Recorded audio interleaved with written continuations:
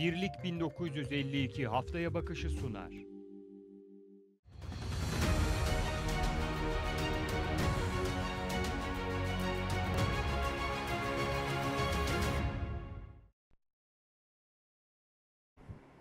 Değerli izleyenler, DRT ekranlarına hepiniz hoş geldiniz, sefalar getirdiniz. Haftaya Bakış programımızla yine sizlerle birlikteyiz. Yeni yayın dönemimiz başladı ve bizlerin de maratonu başladı. Bundan böyle yaklaşık 10 ay boyunca sizlerle birlikte olacağız ve sizlere misafir olmaya çalışacağız. Haftaya bakışta birçok gündem konusunu masaya yatırmaya çalışıyoruz. Tabii ki bizim e, sloganımız, mottomuz olan çamları devire devire değil evire çevire bir program yapmaya çalışıyoruz. Tabii ki her şeyde konuşmaya çalışıyoruz. Bunu da belirtelim. Bugün ilk programımız ve her çarşamba yine sizlerle birlikte olmaya çalışacağız.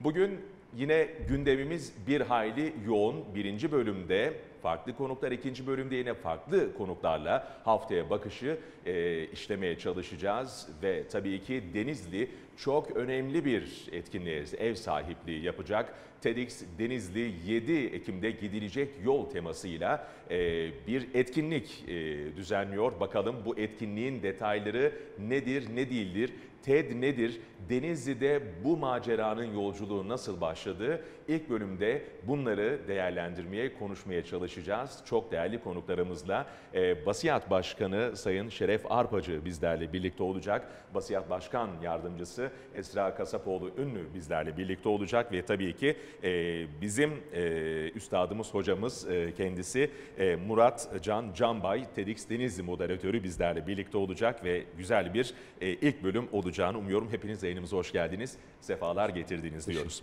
E, Esra Hanım e, fazla vakit kaybetmeden tabii TED'in de bir e, özelliği olan belli bir süremiz var bizim de program içerisinde. Ona da özen göstermeye çalışacağız. Siz de başlayalım istiyorum.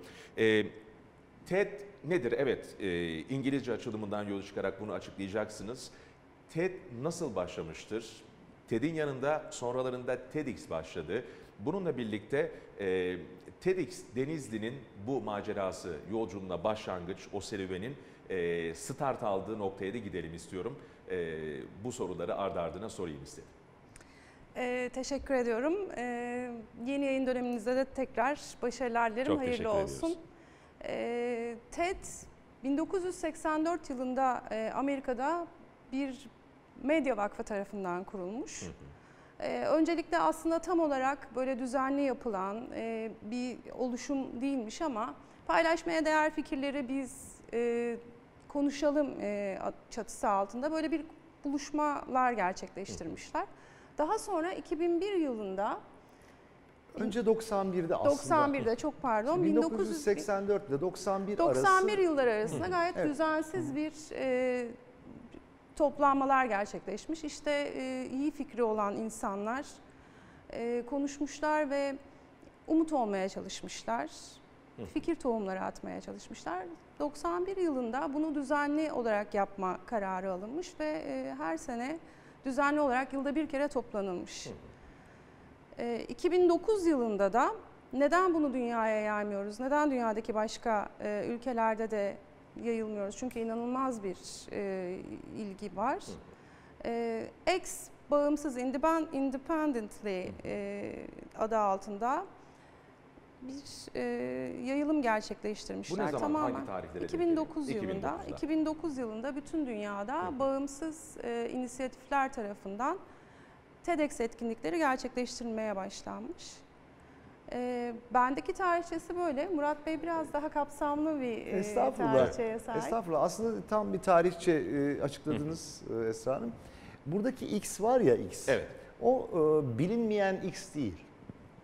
Bağımsızlığı temsil eden bir X. E, TED Amerika içinde yapılan etkinlikler, Kaliforniya'da özellikle Monterey'de yapılan etkinlikleri TED deniyor. Merkezi orası olduğu için.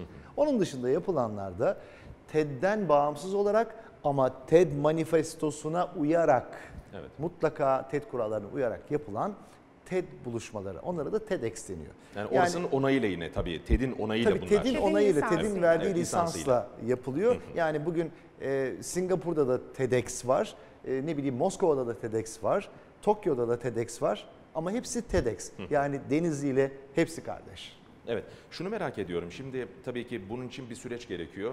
Ee, geçtiğimiz senelerde e, Çamlık Bulvarı adı altında TEDx yapıldı. Ee, bu yolculuk nasıl başladı? Yani neden böyle bir şeye ihtiyaç duyuldu? Tabii çok geç kalındığını söylemek lazım Denizli için. Çok önemli bir etkinlik. Nasıl bu yolculuk başladı? Evet katılıyorum. Aslında 2009 yılında dünyada e, ex e, bağımsız independent e, TED konuşmaları yapılmaya başlanmasıyla aynı sene Türkiye'de de yapılmaya başlandı. E, bu işin Denizli'ye gelmesi 2019 yılını buldu. Aslında bizim 2018 yılında yaptığımız bir e, toplantı esnasında Basiyat toplantısı esnasında bir fikir fırtınası. Ya bu işler başka şehirlerde yapılabiliyor. Biz de yapabilir miyiz acaba? Bir kovalasak mı? E, dedik ve arkasından ben bu işin biraz e, kurcalanması gerektiğine inandım.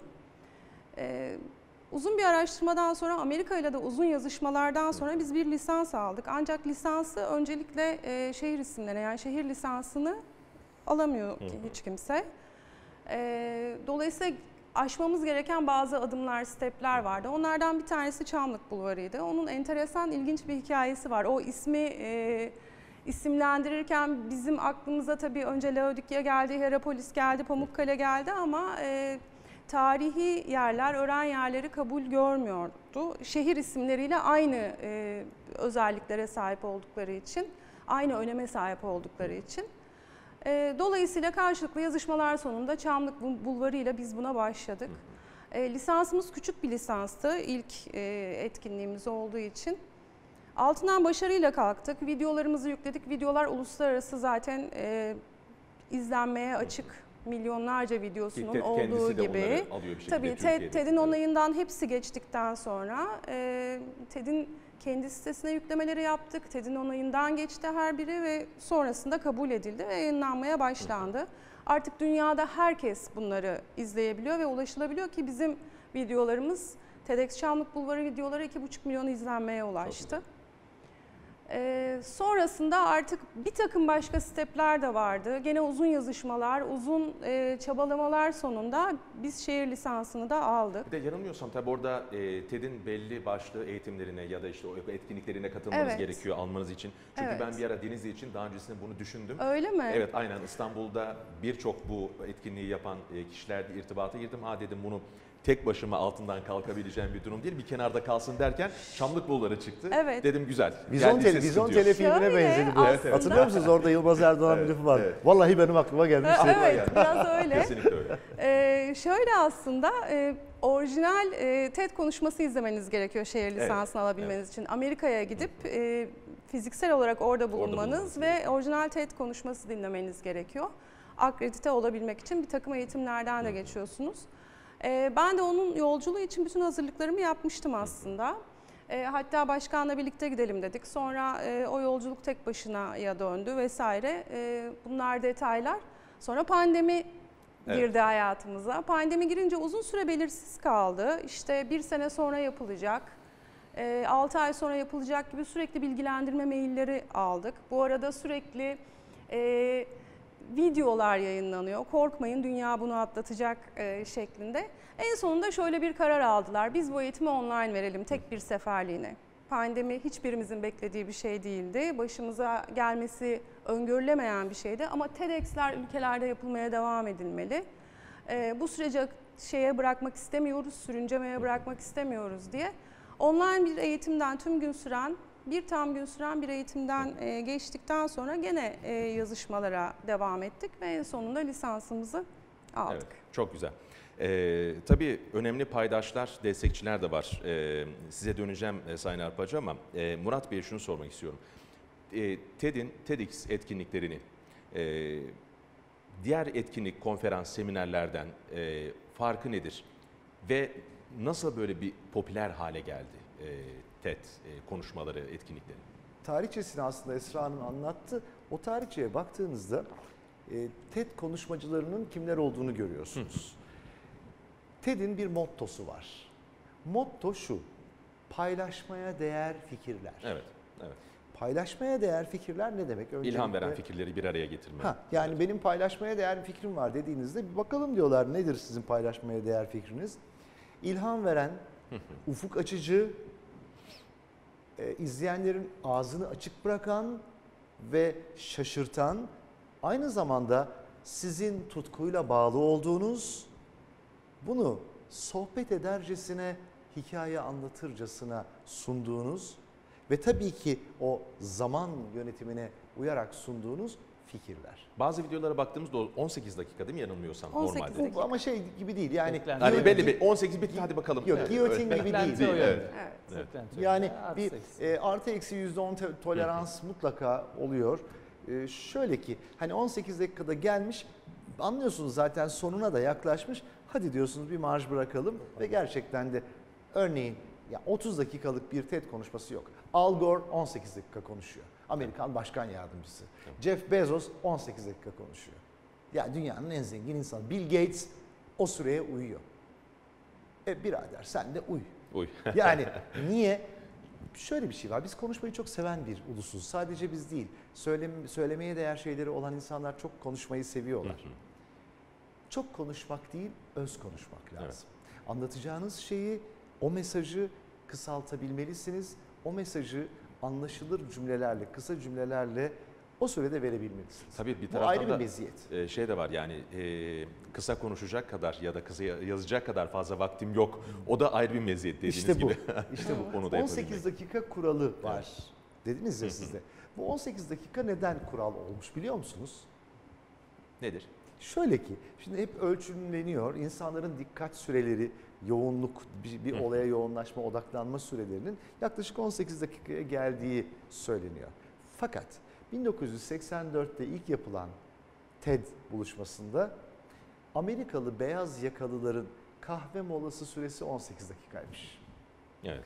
Belki Çok- buradan da bir ilham ya da ana Çok e, ilginç. sebebi Şöyle bu. diyor ki bu kahve molası süresinde bana öyle bir şey anlat ki dünyam değişsin. Evet. Bana öyle bir şey anlat ki ilham ver. Bana öyle bir şey anlat ki ufkum açılsın. Bu kadar vaktim var diyor. Kahve molası kadar vaktim Evet. var. İşte bu simgesel bir şey aslında ama o simgesellik daha sonra insanların odaklanma, dikkat sürelerine de eşitlendiği için 18 dakika bir kural olarak Evet. TED, e, Evet. TED buluşmalarında konmuş. Ee, teşekkür ediyorum bu güzel açıklama için. Ee, Şeref Bey tabii e, şunu sormak istiyorum. Basiyat Başkanısınız. Tabii ki bu tarz etkinlikler belli paylaş ve desteklerle e, yapılabiliyor. E, ortaklarla aslında daha da büyüyebiliyor. Siz tabii Basiyat olarak çok önemli e, destekleriniz var. TEDx e, etkinliği açısından bakıldığında tabii ki TED Denizli Koleji'ni de buraya eklemek gerekiyor. E, siz e, özellikle Esra Hanım'a sorduğum gibi size de sorayım.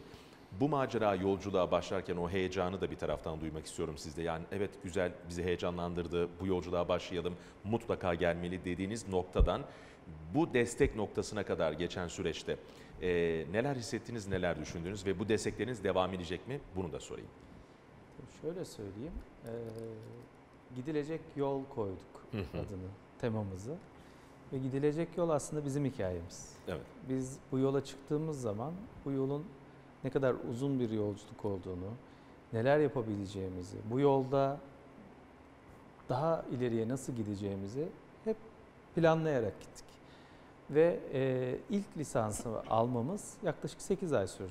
Hı. 8 aylık bir çalışma, 8 aylık bir mesai, 8 aylık bir eee temponun ardından eee, biz lisansı aldığımız zaman inanamadık ilk önce. Dedik ki yani aldık mı? Yani gerçekten oldu mu bu iş? Müthiş bir heyecandı bizim için. Tabii ilki eee, biraz daha bizim amatörlüğümüz mü diyelim, biraz daha farklı bir açıdaydı. Ama biliyorduk ki yani gidilecek yolumuz var. Hı Bu bir başlangıç. Eee ikincisini yapamadık. İkincisini yapmak istedik aynı sene içinde. Hı hı. 2020 senesinde. Maalesef pandemi sebebiyle yapamadık. Eee 2021'de yapmayı çok istedik. Başlarında olmadı. Eee, sonra deniz lisansını hak ettik ve dedik ki evet bunu yapıyoruz. Sanıyorum Türkiye'de 2001 yılında olan ilk TEDx etkinliği olacak. Yani çok emin olmadan söylüyorum bunu ama yapılmadı diye biliyorum. Ee, bir de tabii gidilecek yol var. Çok Bu, bu, bu uzun bir hikaye olacak. Daha yolun çok başındayız. Ama e, adını da TEDx Denizli koyduk ve sorumluluğun da farkındayız. Evet. Ciddi Çünkü- bir e, yük var üzerinizde bu açıdan. Evet, çünkü evet Çamlık Bulvarı çok bilinmiyordu. Denizli'nin en güzel caddelerinden biri. Ee, onu da biz bulurken çok düşündük, çok emek sarf ettik ve e, güzel bir şey olsun dedik ve çok kabul gördü. Birçok insan niye devam etmiyorsunuz diye de sordu bize. Tabii bundan sonra çeşitlendirmeleri olacak ama bu TEDx Denizli ilk Denizli etkinliği ve biz paydaşlarımızı gerçek anlamda partnerimiz olarak görüyoruz. İlk yaptığımız etkinlikte yanımızda olan, hiç düşünmeden bizimle hareket eden ve bize güvenen insanları TEDx Denizli adı altında, çatısı altında da birleştirdik. E, mutlaka hatalarımız olacaktır, mutlaka zorluklar olacaktır ama bu çok uzun bir yol. E, ve ilk yapmanın heyecanı gerçekten çok büyük. Ben çok teşekkür ediyorum. Bir kere sonuçta biletli bir etkinlik yapıyoruz. İnsanlar ailesinden, işinden zaman ayırarak yarın bizlerle beraber olacak. Bu çok kıymetli. Çünkü e, zamanı yerine koyamıyorsunuz. Bunun farkındayız ve çok güzel bir etkinlik çıkardığımızı düşünüyorum. Her şeyin kazası var ama zamanın kazası yok. Evet, çok yani güzel bir etkinlik olacağını düşünüyorum. Ama tabii şu sorumluluğumuz da her zaman var. Biz buna Denizli ismini verdik. Her fikre açığız. Her fikre ihtiyacımız var. Bizim e, büyük bir istişare kurulumuz var. E, ilk önce TEDx Denizli yapmadan önce o kurulu topladık. Hı hı. Dedik ki biz TEDx Çamlık Bulvarı yaptık. Nasıl buldunuz? Nasıl değerlendirirsiniz? Bunu daha ileriye nasıl taşıyabiliriz? Bu isme yakışır. Denizli'nin bir markası doğuyor. Yeni bir markası doğuyor. Kesinlikle. Ulusalda ve uluslararası düzeyde ses getirecek bir marka olacak. Bununla ilgili ihtiyacımız var. Bizlere destek olun. Çok güzel fikirler çıktı. Sayın Can Bayda, Esra e, Kasapoğlu ünlü de aynı şeyleri söyledi. Gidilecek yol fikri e, bizi çok heyecanlandırdı.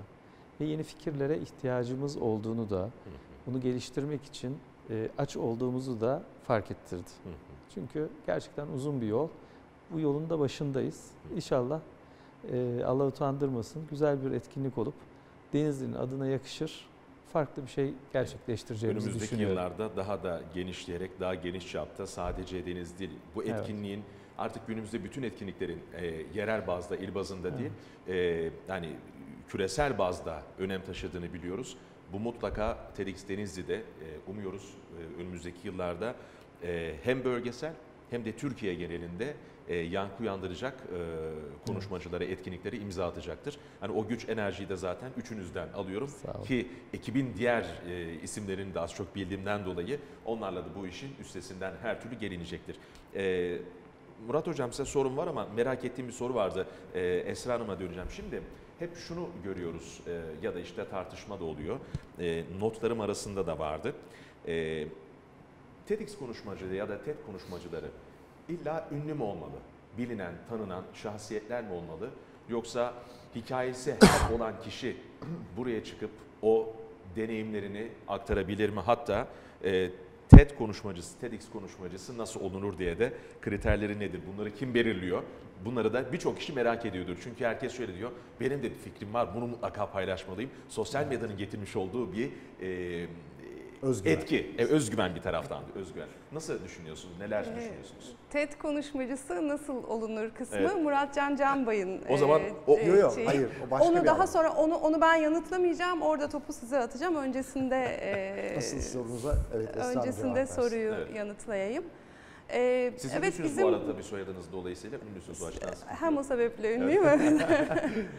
Şöyle bize de işte bu 8 tane konuşmacımız var bizim e, bu dönem. Geçen dönemde e, Çamlık Bulvarı'nda da 8 konuşmacımız vardı.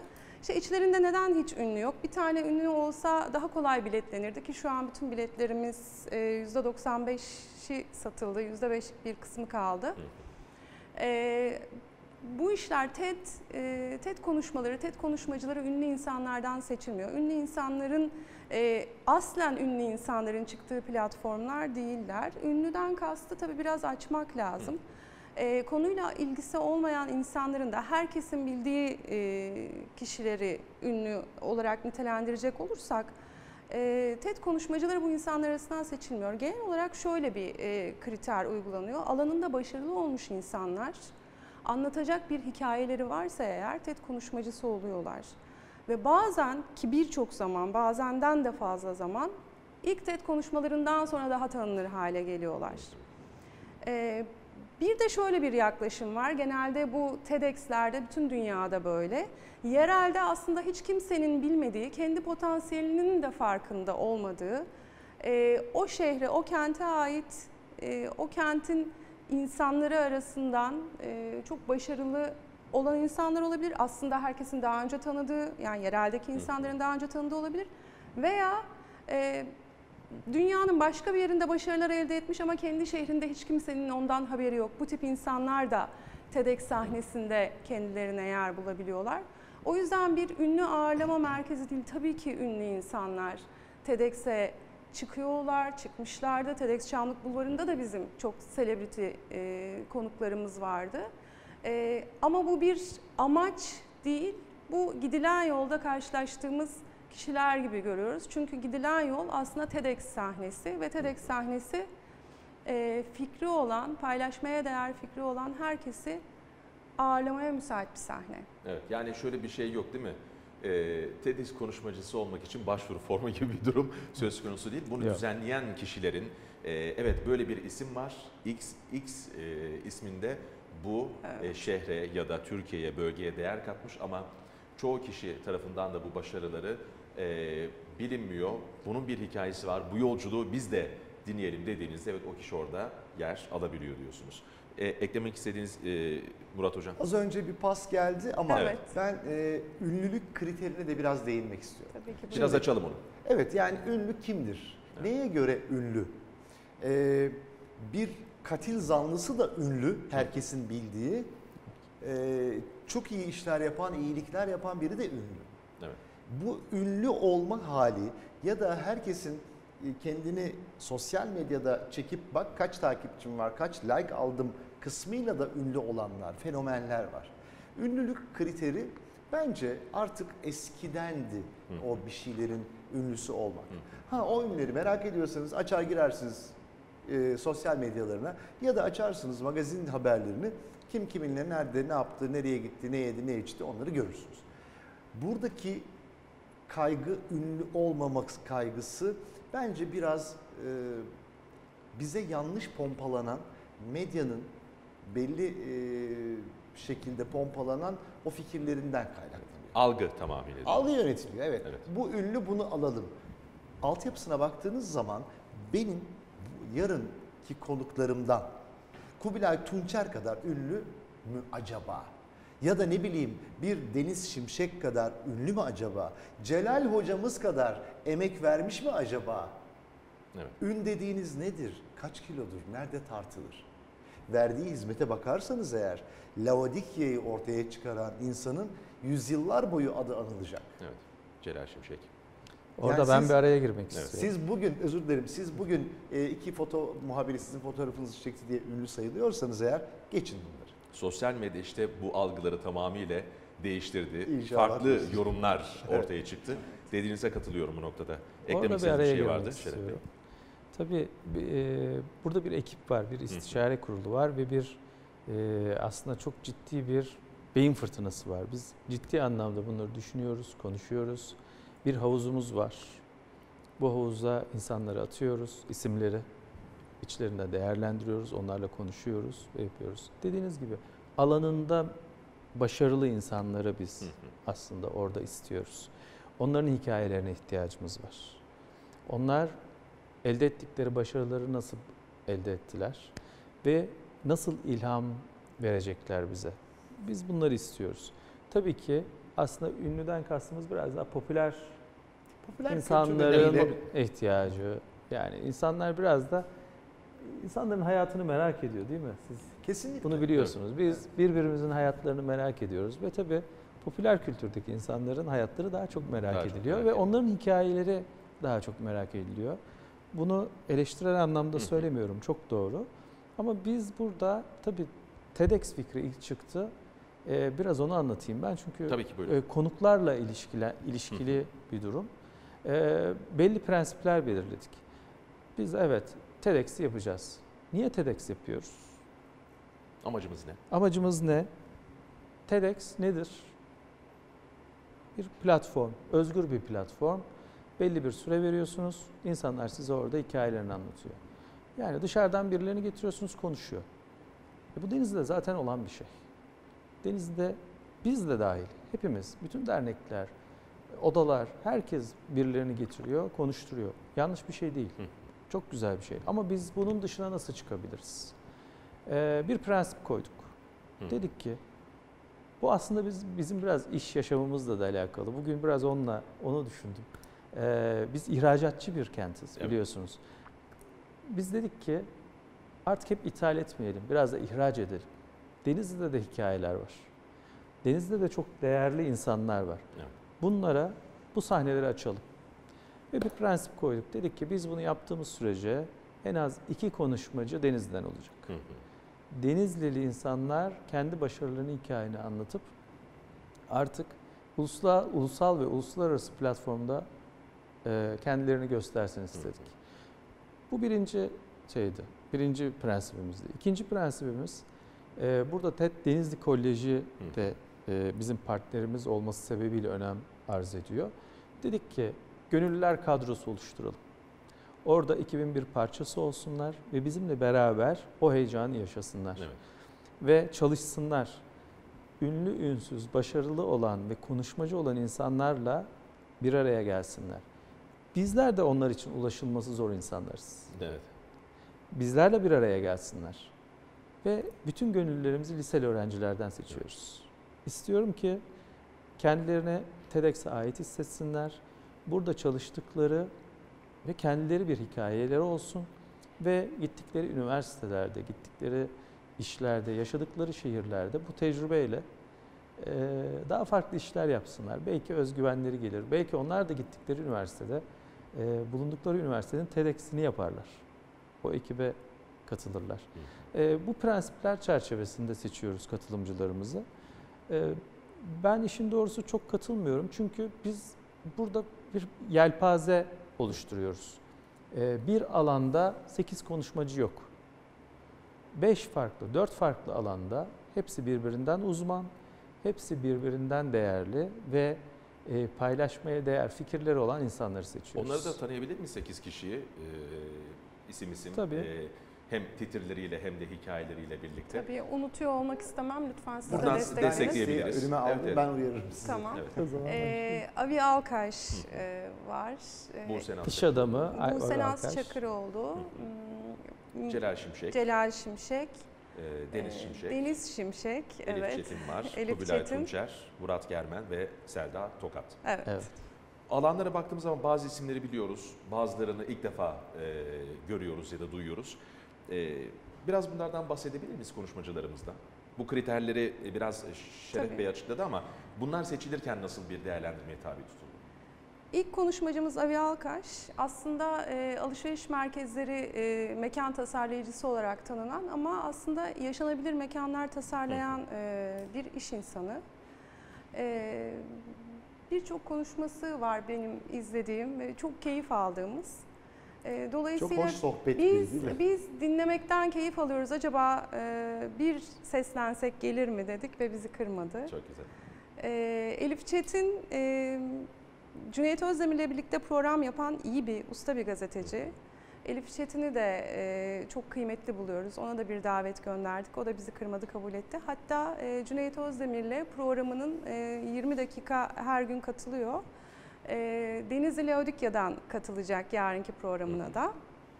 E, öyle bir katılım sağlayacak. Laodikya deyince Celal Hoca var tabii. Laodikya deyince direkt Celal Hoca var. Göz Celal bebeğimiz. Hoca Laodikya Kazı Başkanı. Ee, yıllardır birçok e, karpuz sığdırmış. Hepsi arkeolojiyle alakalı koltuğuna.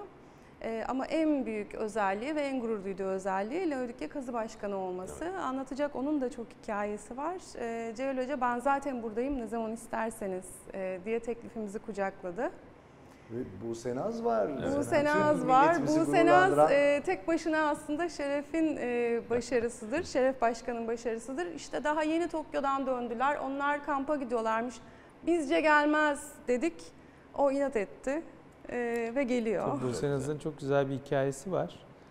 Ee, şöyle yazın yapılan Tokyo Olimpiyatlarında gerçekten göğsümüzü kapartan sporcularımızdan bir tanesi. Ve dalında ilk olimpiyat mada- madalyası alan sporcumuz Türkiye'de. Türkiye olarak ilk olimpiyat madalyası aldı. Kendisi Fenerbahçe Spor Kulübü'nün e, mensubu. E, kendisine tabii ulaşmakta da zorla, zor çok zorlandık ama e, bir şekilde ulaştık ve gerçekten onun da çok heyecanlandığını ve kendi alanında Belki de ilk defa Anlatacağı- böyle bir etkinlikle kendini aslında Kesinlikle. ifade Evet. edebileceği bir ortam olacak. kesinlikle Naz'ın. anlatacağı çok şeyin olduğunu ve e, buna cesaretinin olduğunu aslında ve bu sahneyi Denizli'de yaşamak istediğini çok heyecanlı bir şekilde bize Evet. anlattı. Ben işin doğrusu o ilk görüşmemizi unutamıyorum. Çok- Zoom'dan Evet, ilk görüşmemizi evet. yaptığımızda Çok heyecanlıyım. Bizi Tokyo'ya götürdü. Daha doğrusu uçakta bütün olimpiyat sporcularıyla beraber bizi Tokyo'ya götürdü. O mücadeleyi anlattı. Sonra Tokyo'dan madalya ile geldi. Ee, benim gözlerim doldu. Esra bir ara e, kendini ka- kendini kaçırıyordu Çok ciddi bir ekranda. hikaye aslında. O, aa, Müthiş bir hikayesi var. Hakikaten çok Müthiş ciddi bir hikayesi var ve e, bunu duymaya hepimizin ihtiyacı var. Yani Evet. millet olarak biz bazı böyle çok zor, dünya olarak yani çok zor zamanlardan geçiyoruz. Güzel hikayelere ihtiyacımız var ve gerçekten olimpiyat sporcularımız bize e, çok güzel hikayeler yazdılar Bir Tokyo'da. motivasyon kaynağı Ve ayrıca. bizim biz Evet. bence bunları dinlemeliyiz. Ben bu Senaz'ı çok istedim. E, ve bunu kabul ettiği için, yarın bizlerle olacağı için de çok mutluyum. Çok güzel. Ee, bu arada Deniz Şimşek var değil mi? Evet. Evet. Deniz Şimşek var. Fiyatı. Deniz Hoca hatta bugün e, şu an Denizli'de Biz geldi. stüdyoya gelmeden ona hoş Evet, geldin o- dedik Evet. ve buraya Hoş geldin geldi. dedik ve ayrıldık. Deniz Hoca da e, bütüncül e, tıp yaklaşımı konusunda e, çok iyi bir hekim. E, insanların takip ettiği bir hekim. E, Kubilay Tunçer. Kubilay Tunçer sahne sihirbazı. O da m, iyi bir Senarist. tiyatrocu, senarist. E, Birçok onun da yönü var. Murat Germen var. O da e, aslen mimar ama alan fotoğrafçısı. Mimari fotoğraflar konusunda çok uluslararası çapta tanınan bir e, sanatçımız. Gene dünyada Türkiye'de tanınırlığından daha yüksek bir tanınırlığı var. E, Selda ve Selda Hanım var. Selda Hanım zaten Selda Hanım'ın firması sadece 2021 yılında 7 tane uluslararası ödül aldı. Bizim yerel olarak da çok gurur duyduğumuz, ulusalda ve uluslararasında kendini çok e, kanıtlamış bir firmanın. Yine adını Denizli'den almış. Ee, Evet, ismini Evet. Denizli'den almış bir bir marka. e, içecek firmasının sahibi. E, dolayısıyla onu da ağırlamaktan hem e, hem şehrimiz olarak hem de böyle uluslararası bir firmanın temsilcisi olarak ağırlamaktan da mutluluk duyacağız. Ee, bu arada değerli izleyenlerimize belirtelim. Ee, etkinlik yarın saat 19'da Evet. e, Nihat Zeybekçi e, Kongre Merkezi'nde yapılacak. Burada e, önemli şunu e, sorayım. Şu anda %5 demişsiniz yanılmıyorsam. Hani bir boş alan. Şu Evet. anda alabilecekleri internet sitesini Ha. de buradan arzu ederseniz iletelim. %5'lik kısmı da Tabii. izleyenlerimiz arasından neden olmasın diyelim. Tabii Evet. ki. E, biletino.com'dan e, etkinlikler kısmından e, TEDx Denizli etkinliğini yazarak e, ulaşabilirler.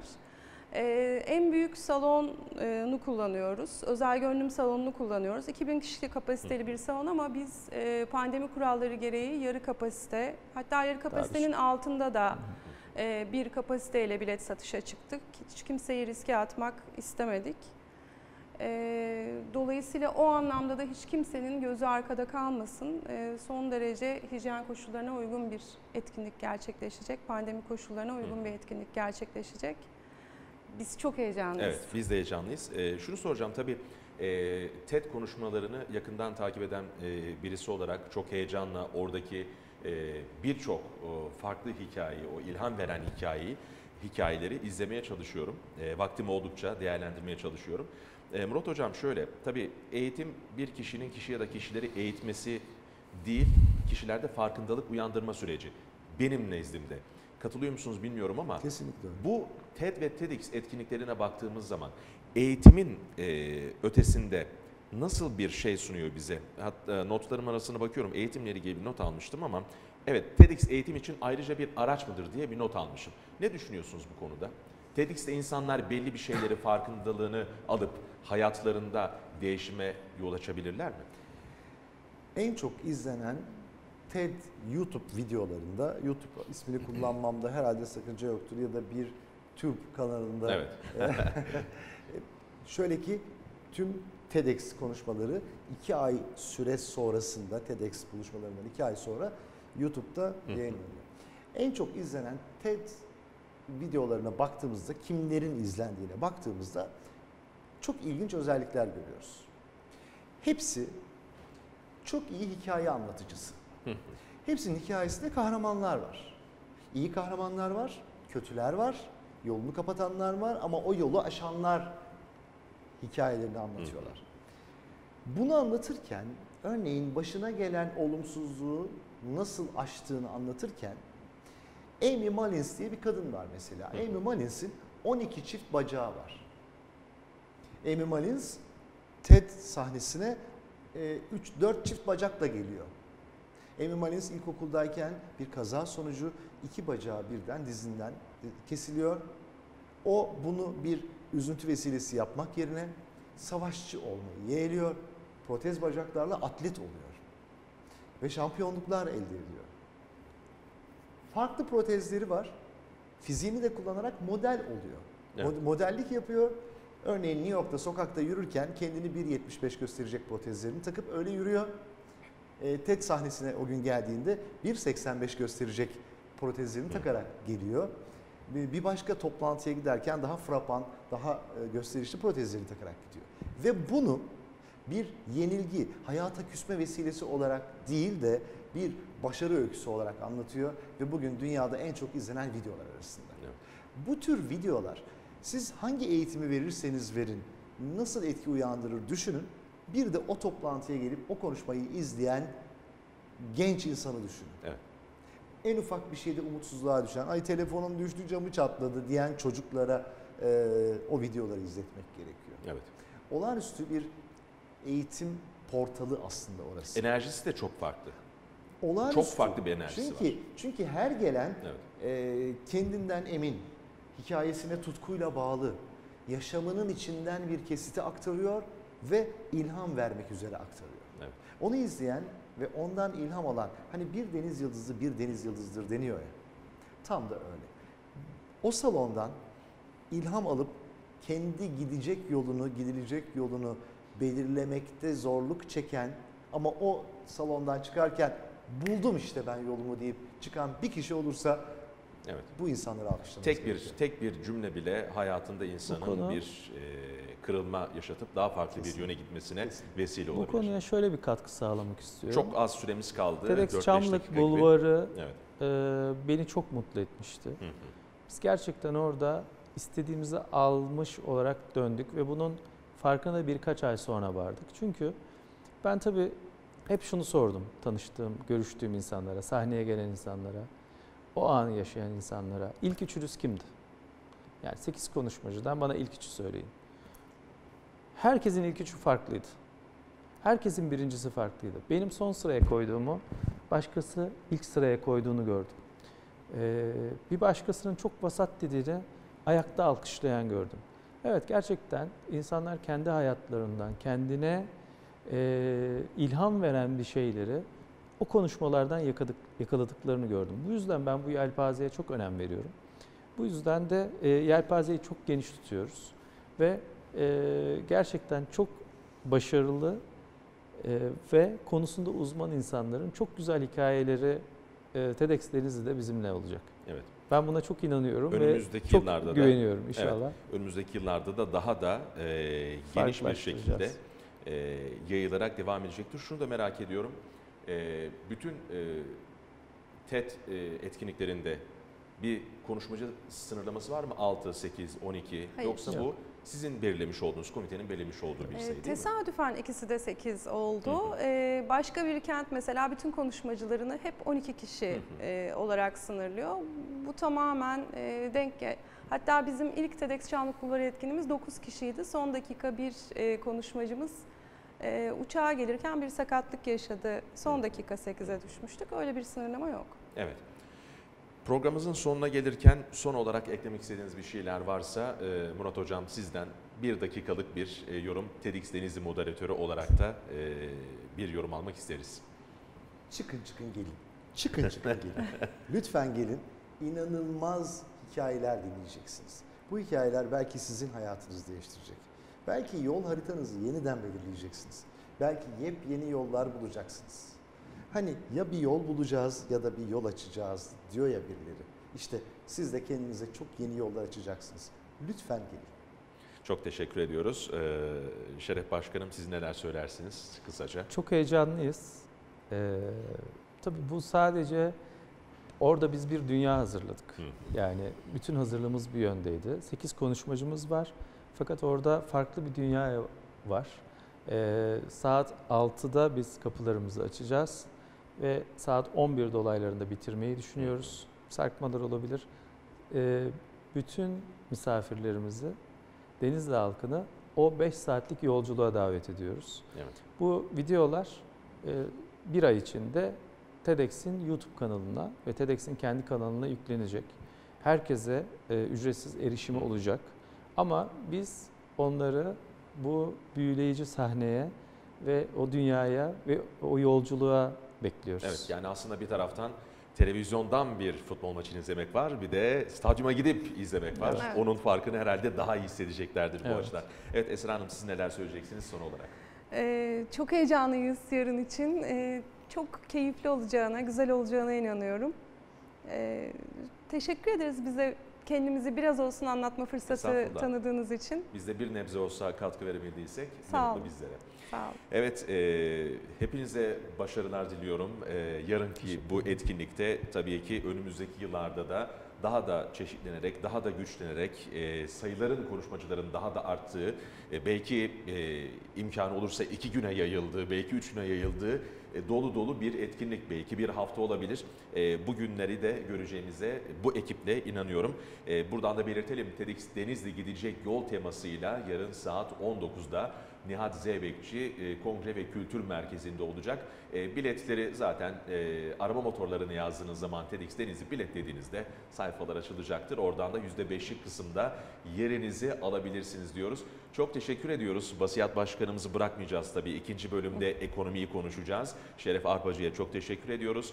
E, teşekkür TEDx. Denizli moderatörü e, Murat Can Can Bey'e çok teşekkür ediyoruz. E, meslek büyüğümüz, e, hocamız kendisi. E, yarın da kendi modere edecek e, bu etkinliği ve tabii ki Esra Kasapoğlu ünlü gözlerimizde yaşardı görüyorum. Bir- E, ama e, inanıyoruz daha güzel olacak. E, Teşekkür daha ederiz. da iyi şeyler imza atılacak. Sizlerin de emeklerine çok çok sağlık. İnşallah bunların emeklerinin de zayi olmayacağını önümüzdeki yıllarda göreceğiz.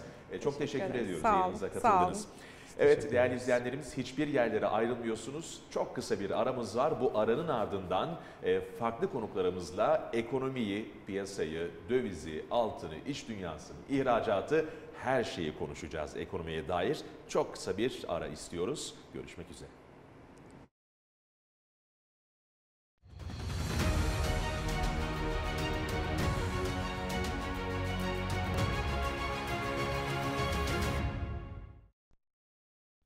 Birlik 1952'nin sunduğu haftaya bakış devam edecek.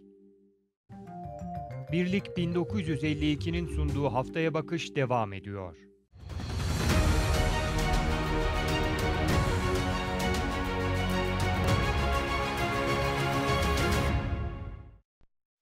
Değerli izleyenlerimiz DRT ekranlarında haftaya bakış programımıza kaldığımız yerden devam ediyoruz. İlk bölümde TEDx Denizli'yi konuştuk. 7 Ekim Perşembe saat 19'da yapılacak dedik. Ve bu bölümde de e, ekonomik genel görünümü konuşmaya çalışacağız. Süremiz el verdiği müddetçe malumunuz artık 2021 yılının son çeyreğine girildi. E, belli başlı göstergeler var tabii ki 2021 yılını yorumlayabileceğimiz ve 2022 yılına doğru giderken de e, beklentiler ve umutlar ne yönde bunları da merak ediyoruz. E, çok değerli konuklarımız var. Süremiz el verdiğince bu meseleleri konuşacağız. E, Basiyat e, Başkanı Sayın Şeref Arpacı bizlerle birlikte. Yeminli Mali Müşavir Sayın İzzet Özer yine e, konuğumuz. E, Basiyat Başkan Yardımcısı Doğan Değirmenci bizlerle birlikte olacak ve Basiyat Yönetim Kurulu üyesi Mehmet Uğur Çoban da bizlere eşlik edecek bu süre boyunca. İlk bölümden eklemek istediğim çok kısa bir yorum istiyorum ekonomiyle alakalı olduğu için. Gerçi biraz değindiniz ama Sayın Başkan TEDx etkinliğinin e, kente ne gibi katma değeri olacak? Bunu e, ekonomiyle de bağdaştırarak cevaplamanızı istiyorum. Denizli açısından ve bölge açısından. Bunu şunu bahsetmiştim biraz önce. TEDx Denizli Denizli'nin yeni bir markası Hı. olacak. Yarın ilk defa sahneye çıkıyor. Ee, çok farklı bir yolculuk olacağını düşünüyorum ve bu yolculuğun başındayız. Çok daha iyi yerlere gelecektir muhakkak. Fakat prensiplerden bahsetmiştim. Hı. Niye TEDx Denizli? Niye Denizli'de TEDx'i yaptık diye. Tabii bunlardan bir tanesi de şuydu. Denizli'nin kültür sosyal hayatına e, katkıda bulunmaktı Hı hı. birincisi ve ikincisi de tabii biz Denizli'de e, Büyükşehir Belediye'miz, valiliğimiz, e, ilçeler, Pamukkale ya, turizm potansiyelini arttırmak üzere biz Babadağ'da da aynı şekilde Hı. çalışıyoruz. Ciddi bir çalışma var. Denizli'nin ciddi bir e, iş potansiyeli yanında turizm potansiyeli var. E, TEDx Denizli ciddi bir kongre ve fuar anlamında, kongre anlamında e, kongre turizmine katkı sağlayacak bir lokomotif olacak. Bunu niçin söylüyorum? TEDx Çamlık Bulvarı'nı yaptık. Çok kısıtlı sayıda, çok küçük bir lisansla yaptık. Ve oraya Aydın'dan, Muğla'dan ve İzmir'den misafirlerimiz geldi. Bölgeye hitap etti. Bölgeye hitap etti. Tanıdıklarımız değil. Geldiler, biletlerini aldılar. Ee, o dönemde biz internetten satmamıştık biletlerimizi. O yüzden daha iyi takip ettim. Ee, acentamızdan aldılar ve acentamızda hangi otelde kalalım? Nereyi tavsiye ediyorsunuz? Etkinlik nerede? Oraya en yakın otel. Nerede yemek yiyebiliriz? Bir gece, iki gece konakladılar ve hafta sonunu Denizli'de geçirdiler. Biz TEDx'i Ege'de ikinci yapan şehriz. Anadolu'da ve üç büyükleri saymazsak, üç büyük kenti saymazsak beş şehirden bir tanesiyiz. Dolayısıyla bölgesel kalkınmada ve Denizli'nin turizm, kongre turizminde de çok etkili olacak. Önemli bir potansiyeli de işaret ediyor. Önemi ve potansiyeli var. Evet. Tabii pandemi şartları sebebiyle artık ulaşım, konaklama bunlarla ilgili sıkıntılar var. Ee, TEDx Denizli'de de ben biliyorum Muğla'dan gelen konuklarımız var, misafirlerimiz var. Ama bu potansiyel giderek artacak. Ben buna inanıyorum. Evet, çok güzel. Şimdi gelelim ekonomiye. Konuşacak çok şey var aslında ekonomi açısından. Ee, baktığımız zaman dolar, euro bir taraftan gidiyor. Borsaya bakıyoruz. Borsa e, yaklaşık e, yanılmıyorsam 10 haftanın en düşük seviyesine geriledi bugün itibariyle. Ee, Sayın Değirmenci, e, 2021 yılını siz nasıl gördünüz? Beklentiniz doğrultusunda mı gitti? 2022'ye dair iş dünyasının da bu açıdan e, hayalleri, umutları nedir? Nasıl e, değerlendiriyorsunuz? Öncelikle tekrar yeni yayın döneminiz hayırlı olsun. Çok teşekkür Bizleri ederiz. ağırladınız, bizleri konuk ediyorsunuz. Biz burada e, bak farklı bakış açılarımızı sizlere ve sayın seyircilerimize aktaracağız. E, 2021 yılı tabii pandemi sonrası oluşan bir insanlar bir e, beklentileri vardı ve artık dünyada özellikle bir talep patlamasıyla karşı karşıyayız. Bu talep patlaması e, Fed'in özellikle e, parasal genişlemesinden sonra bütün emtia fiyatlarında bir hızlı bir yükseliş e, gerçekleşti. Ondan önce tabii böyle bir e, kripto paralarda bir karlılık getirdi. Fakat alınan tedbirler sonrasında bu para tamamen bir emtia fiyatlarına yansıdı. E, dünyada bir talep enflasyonuyla karşı karşıyayız. Bu e, tüketici fiyat endeksi sürekli yukarı çıkıyor. Fakat bizim Türkiye'de üretim maliyetleri yani bizde bir talep enflasyonu yok. Bizde üretim maliyetlerinin e, artan bir enflasyon var. E, tabii bunu e, ithalat ve ihracat kalemiyle beraber ihracata odaklanarak Türkiye bir yol seçiminde bulundu. Hı hı. Ee, şu anda e, bu yolda ilerliyor Türkiye. Yani artık hedefinin ihracat olması gerektiğini ilerleyen yıllar olsa da hedefini açıkça belirle, belirledi. Evet. Şunu da merak ediyorum İzzet Bey, e, size sorayım. Şimdi e, özellikle e, döviz cephesine baktığımız zaman ciddi yükselişler görüyoruz. Neden döviz yükseliyor? Türk lirası değer kaybediyor. E, acaba üretim ya da üretim şartlarında bir sıkıntının mı göstergesi bu? Siz tabii ki e, birçok firmayla da e, çalışıyorsunuz, görüşüyorsunuz, biliyorsunuz bunları. E, hani özellikle küçük orta ölçekli esnaflara baktığımız zaman bunun yansıması nasıl oluyor? Şimdi tabii şöyle bir şey var. Ee, dünyada gelişmekte olan ülkeler var, gelişmiş ülkeler var, az gelişmiş ülkeler var. Gelişmekte olan ülkelerin içerisine baktığımız zaman Türkiye de bu ülkelerden bir tanesi. Tabii ki e, bu ülkelerin içerisinde kendi para birimleriyle ihracat yapan, kendi para birimleriyle ithalat yapan ülkeler çok dünyada. Biz de Türkiye olarak aslında bunu çok istedik ama bir türlü beceremedik. Hatta İngiltere'ye ya da Kıbrıs'a TL bazında ihracatlar da yapılabiliyor şu anda Türkiye'den. Neden dövizin ihtiyacı var? Neden dövize talep var ya da neden dövizdeki fiyat yükseliyor, Türk parasının değeri düşüyor veya niye Türk parası diğer ülkelerin parası karşısında değer kaybediyor. Bakıyorsun geçmişe, geçmişten geleceğe bakmak lazım. Geçmişte baktığımız zaman Cumhuriyet dönem kurulduğu dönemlerde bile e, belki Türk parası belki değil gerçek değerli bir para. Ama belli bir süreç ilerledikçe Türk parasının değeri düşüyor. Değer düştüğü dönemlerde ekonominin gidişatını da izlemek lazım. Karşılıklı bakmak lazım. Bu süreç içerisinde şöyle bir şeyle karşılaşıyoruz. Türkiye'de üretim var. Ancak ürettiğini satamama gibi bir sorunu var. Pazarlayamama gibi. Pazarlayamama gibi. Daha son yıllarda belki bir 5-10 yıldır Türkiye dünyada her ülkeye mal satmaya başladı ya da her ülkeden ithalat yapmaya başladı.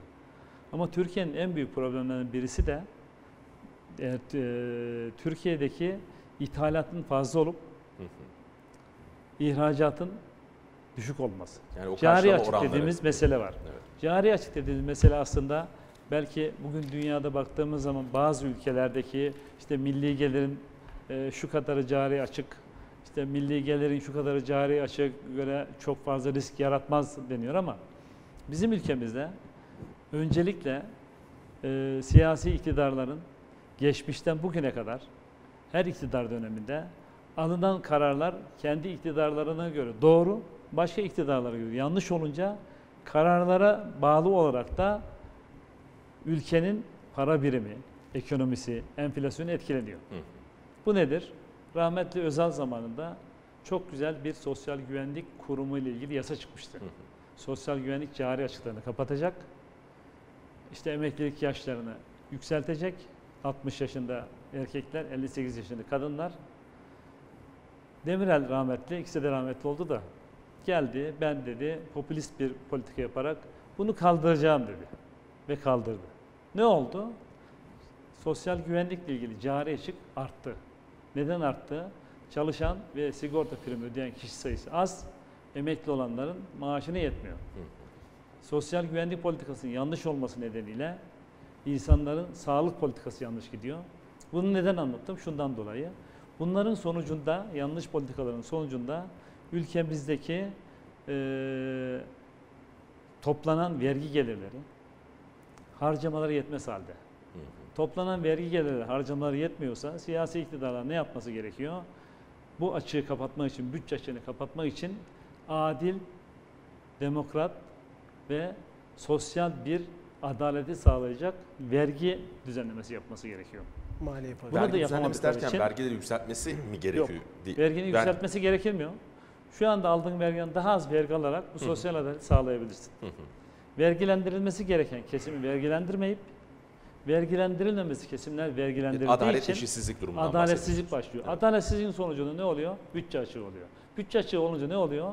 Bu sefer ülkenin kırılgan bir ekonomisi, güven sağlamayan bir ekonomisi ve ileriye dönük de herhangi bir ülkedeki siyasi politikalarda değişikliklerin olması Türk parasının değerini düşürüyor, güvensiz bir ortam yaratıyor. Bu da enflasyonu körüklüyor.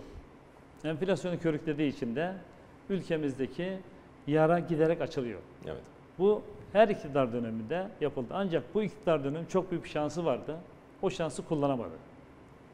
Neydi o şans? Yani e, kullanması gereken yerde kullanamadı. Şöyle, bu iktidar döneminde 2002'de e, Derviş tarafından uygulanan ekonomik politikalar çok güzel politikalardı. Bunları çok iyi sahip çıktılar. İki dönem çok iyi politikalara sahip çıktılar ve çok iyi gitti. Aslında 2012-2013 döneminde kurlar düşükken, yani yararlanamadıkları, yani değerlendiremedikleri konu, kurlar düşükken faizler yüksekti. Yüksek faiz, düşük kurla ihracatçıları batırdılar. Evet. Aslında o dönemde faizleri de düş-. Düşük faizle yatırım artacaktı. Yatırımın artmasıyla birlikte sıcak paradan yani dolaysız vergilerden, direkt vergilerden bu dolaylı vergiler dediğimiz vergileri çıkaracak, ayıracaklardı. Bunu ayıramadılar. Yani yüksek faizle fonlama ihracatçıyı bu açıdan olumsuz yönde etkiliyor diyebilir miyiz? Şöyle, yüksek faiz ihracatçıyı olumsuz yönde etkiledi, maliyet artışlarıyla etkiledi. Örneğin, ülkemizdeki asgari ücret çok büyük bir ücret değildir. 2013 yılında asgari ücret 570 dolardı. Şimdi bakıyorsun asgari ücrete çok daha düşük. Maliyetleri etkileyen unsurlar var. Evet. Asgari ücretin yüksek olması çalışanın cebine para girmiyor. Hı hı. Vergi ve sigorta politikalarının yanlış olmasından dolayı çalışan da mutsuz, çalıştıran da mutsuz. Evet. Bu İşte bunun sonucu, Hı hı. bunun sonucu ülkede de sistem ve demokratik bir hukuk sistemiyle ilgili bir iktidar geldiği zaman bir başka iktidarda da aynı sistemi uygulayacak düzen olmayınca sistem çok kötü bozuluyor. Bu, bugün bu iktidarda böyle, gelecek iktidarda farklı mı olacak? Eğer sistemi değiştirmezsek, yani yapısal değişiklikleri yapmazsak, eee, örneğin işte bir milli eğitim politikamız olmazsa, bir sağlık politikamız olmazsa, bir tarım politikamız olmazsa, bunu her gelen iktidarda aynı şekilde uygulayıcı olmazsa, her gelen iktidar kendine göre bir şey değiştirirse, yani çoğulcu bir demokratik demokratik bir ekonomik düzende yasalar düzenlenmezse yine biz döneceğiz döneceğiz bir kısır döngü içerisinde. yaşayacağız, kısır döngüye gireceğiz. Bundan da kurtuluşumuz çok zor olacak. Evet. Ee, Ben Sayın- orada Buyurun. bir ilave e, katkıda bulunmak istiyorum. İhracatımız geçen e, ay itibariyle 16 milyar dolar. İthalatımız ise İrfan Bey 20 milyar dolar. Yani bizim ülkemizde e, cari açık sorunumuz var. Yani bu ülkenin bir gerçekten de e, döviz açığı problemi var. Bu tarihten de beri böyle. Yani bu ülkede döviz her zaman uzun süre uzun vadede yukarı yönlü olacaktır. Hı hı. Ta ki ne zaman?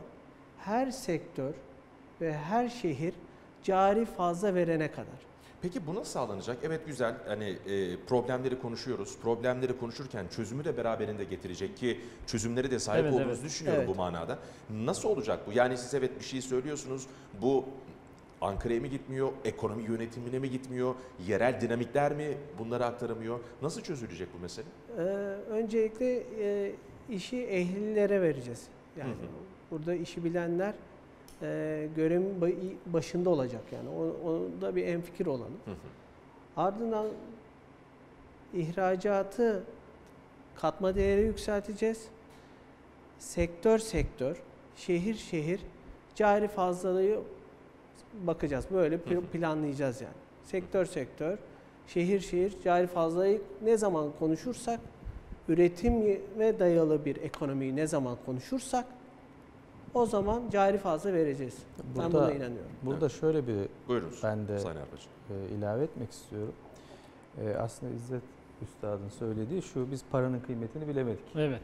Para bolken parayı yatırıma ve sanayiye ve üretime harcamadık. Tam tersi ne yazık ki düşük kurda enflasyonla mücadele yapmak aklımıza gelmedi. Geldi. Evet. Evet. Çünkü düşük kurda biz e, ithalat ülkesi olduk. Üretim yapan fabrikalar kapattı. Daha ucuza aynı ürünü ithal etti.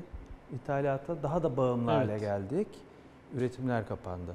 Tabii Türkiye'nin şöyle bir gerçeği var. Biz ihracat yapmak için de ithalata bağımlı olan bir ülkeyiz ne yazık ki.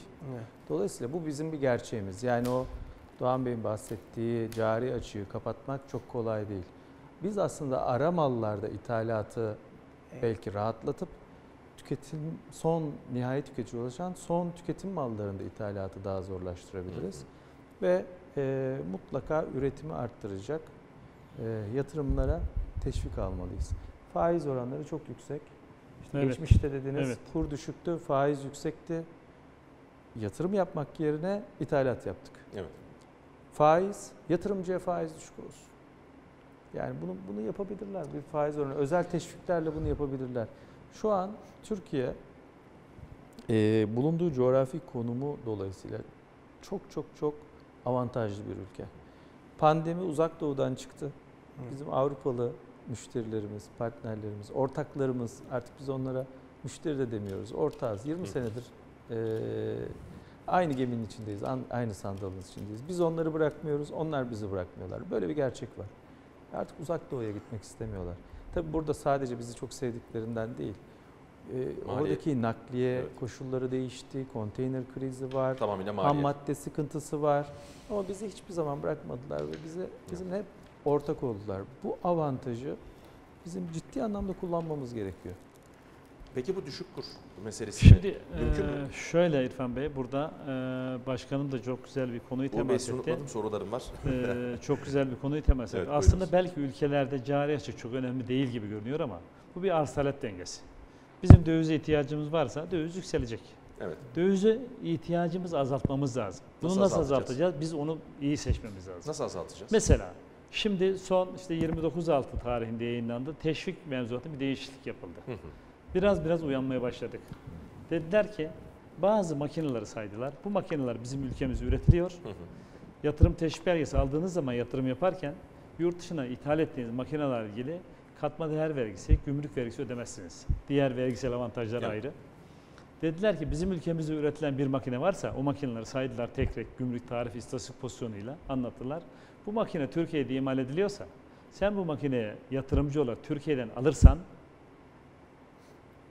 bu makinenin gümrük vergisini ödemezsin iç piyasadan Evet. aldığın için. Katma değerini ödemezsin. Ancak aynı makinenin muadili yurt dışında var da yurt dışına ithal etmek istersen dedi. Yatırımcıyı Türkiye'deki üretime teşvik etmek için yani gümrük vergisini ödersin dedi. Hı hı. Çok güzel bir olay. Demek ki yapılabiliyor. Evet.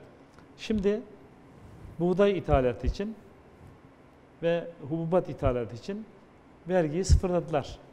Neden?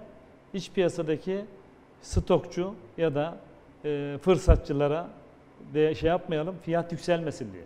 O fiyat yine yükselecek. Sen onu vergisel boyutuyla değil, ben olsam onu veya bir başkası olsa düşünmesi gerekir. Ben ülkeme yurt dışından ithalat yaptıracağımı, döviz harcatacağımı o dövizi ülkedeki üreticiyi desteklerim. Hı. Onun etkisini azaltırım ve fiyatların yükselmesini de azaltırım. Dövizdeki talebi azaltmamız bizim biraz zor. Dövizdeki talebi azaltmak için önce güveni oluşturmamız lazım. Evet. Bugün ülkemizdeki mevduata bakarsan Şimdi güven Evet. dediğinizde e, Sayın Özer şunu sözünüzü balla keseyim. Şimdi baktığımız zaman tüketici güveni Eylül'de yükselmiş gözüküyor. 1.8 oranında önceki aya göre. evet Ağustos ayında 78,2 olan endeks Eylül ayında 79,7 oldu. Bununla birlikte özel sektörün yurt dışı kredi borcu Temmuz'da azaldı. Ya böyle olumlu göstergeler de varken Var tabii. bunlar nasıl e, Şimdi biz o yapılanlara Çözümlemeyen itiraz etmiyoruz böyle bir- ama tüketici güven endeksi şu anda 78 de 3 yıl önce de 106 idi. evet Şimdi aşağı düştüğünüz bakalım onları da değerlendirelim. İleriki belki bir sene sonra tüketici güven endeksi yine 100 olacak. Hı hı. Ama burada bu tedbirleri alırken ülkemizdeki şu andaki tüm kümülatif olayları değerlendirmemiz lazım. Biraz önce bahsettiğim Türkiye'de borsa şu anda en dip durumda. evet son Neden olarak. düştü?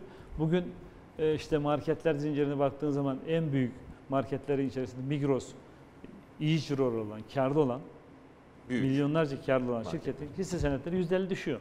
Bu ne demektir? Ülkemizdeki şirketlerin hepsini toplasak Amerika'daki bir şirketin değeri kadar yapmayacağız. Hı hı. Bu ülkemizdeki ekonomi büyüme değil, ekonomi küçülüyor. Bunun farkını etmemiz lazım. Evet. Bunun için de e, hemen sözümü Buyurun, bitireceğim. buyurun.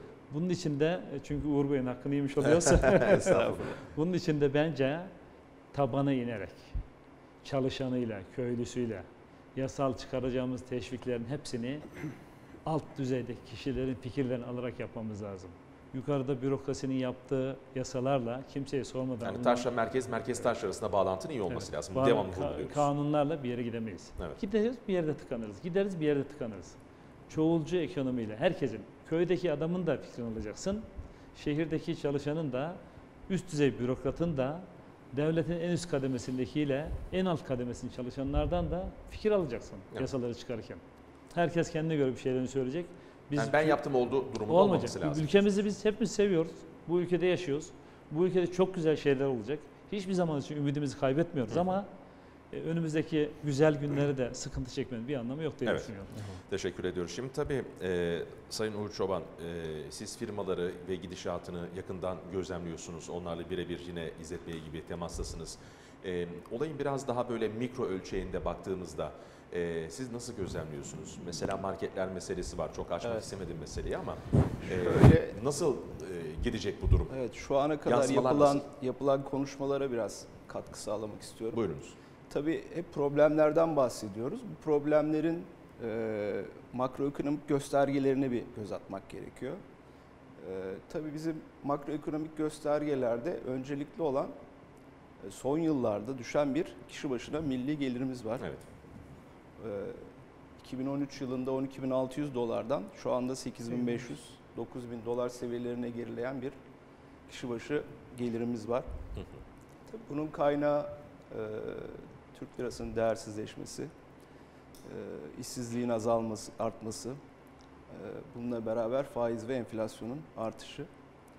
İkinci olarak Merkez Bankası rezervlerimiz görünüyor. Bu Merkez Bankası rezervleri de e, 54 milyar dolar seviyelerinden şu anda eksi 37 milyar dolar seviyelerinde. Hı hı. E, bu da tabii Merkez Bankası'nın e, elini zayıflatıyor. E, fiyat istikrarını sağlaması gereken banka e, şu anda eksi rezervle e, çok fazla gücü yok ve güven de vermiyor. E, bununla beraber enflasyon üçüncü göstergelerde bozulma yaşanan Hı hı. ve enflasyonda %10 seviyelerinden şu anda üfede %43, tüfede %20 bandına dayandı. Evet. E bu da hayat pahalılığı demek. Bu göstergeleri e, bizim e, pozitife çevirmemiz lazım. E, 2013 yılına döndürmemiz lazım bir şekilde. Nasıl döndüreceğiz? Bunu nasıl yapacağız? Tabii e, işte burada Merkez Bankası'nın politikaları var. Bununla mücadele ediyor. Faiz Fiyat- indirmesi doğru mu peki Merkez Bankası'nın Şöyle, faizi indirmesi? Fiyat, fiyat istikrarını sağlamak için para politikalarını kullanıyor tabii. Fakat Türkiye'de Merkez Bankası ne yazık ki hazineyle beraber hareket ediyor. Yani bir hazine yönetimiyle Merkez Bankası'nın yönetimi eş zamanlı ve beraber hareket ettiğini Yanlış görüyoruz. Bunun artıları var. Hı hı. Mesela pandemi döneminde biz bu artıyı yaşadık. Ee, finansal bir kriz yaşandı. O finansal krizde hazinenin sağladığı e, kredi garanti fonlarıyla e, limit pozisyonlarında sıkıntı yaşayan e, tüm işletmeler bu KGF'lerden, kredilerden yararlandı. Çok düşük faizli kredilerdi. Ve biz o dönem e, imalat sanayi istihdamda bir azalış göstermeden hatta bazı e, sektörlerde artış göstererek e, o dönemi kapattı. Hı hı. Bu beraber hareket etmenin bir sonucuydu aslında. Tabii parasal genişlemeyle Merkez Bankası'nın, bizim kendi Merkez Bankamızın parasal genişlemesi hazinenin elini güçlendirdi. Burada bugüne kadar uygulanmayan yöntemler de uygulanmıştır. Kamu bankaları aracılığıyla içeriği fonladı e, hazine. Tabii bunun dezavantajları nasıl oldu? Pandemi KGF'lerden sonra bir, anda Hazine Bakanımızın is- istifasını gördük. Piyasalar bir anda şaşkına döndü. Evet. Onun şokunu atlattık. Bu sefer Merkez Bankası başkanlarının istifalarını veya görevden alınışlarını gördük. E bunlar tabii direkt güven sorunu Eko- yarattı. Ekonomi yönetiminde ciddi değişiklikler oldu yani çalkantılı e, Tabii. zamanlardan geçildi.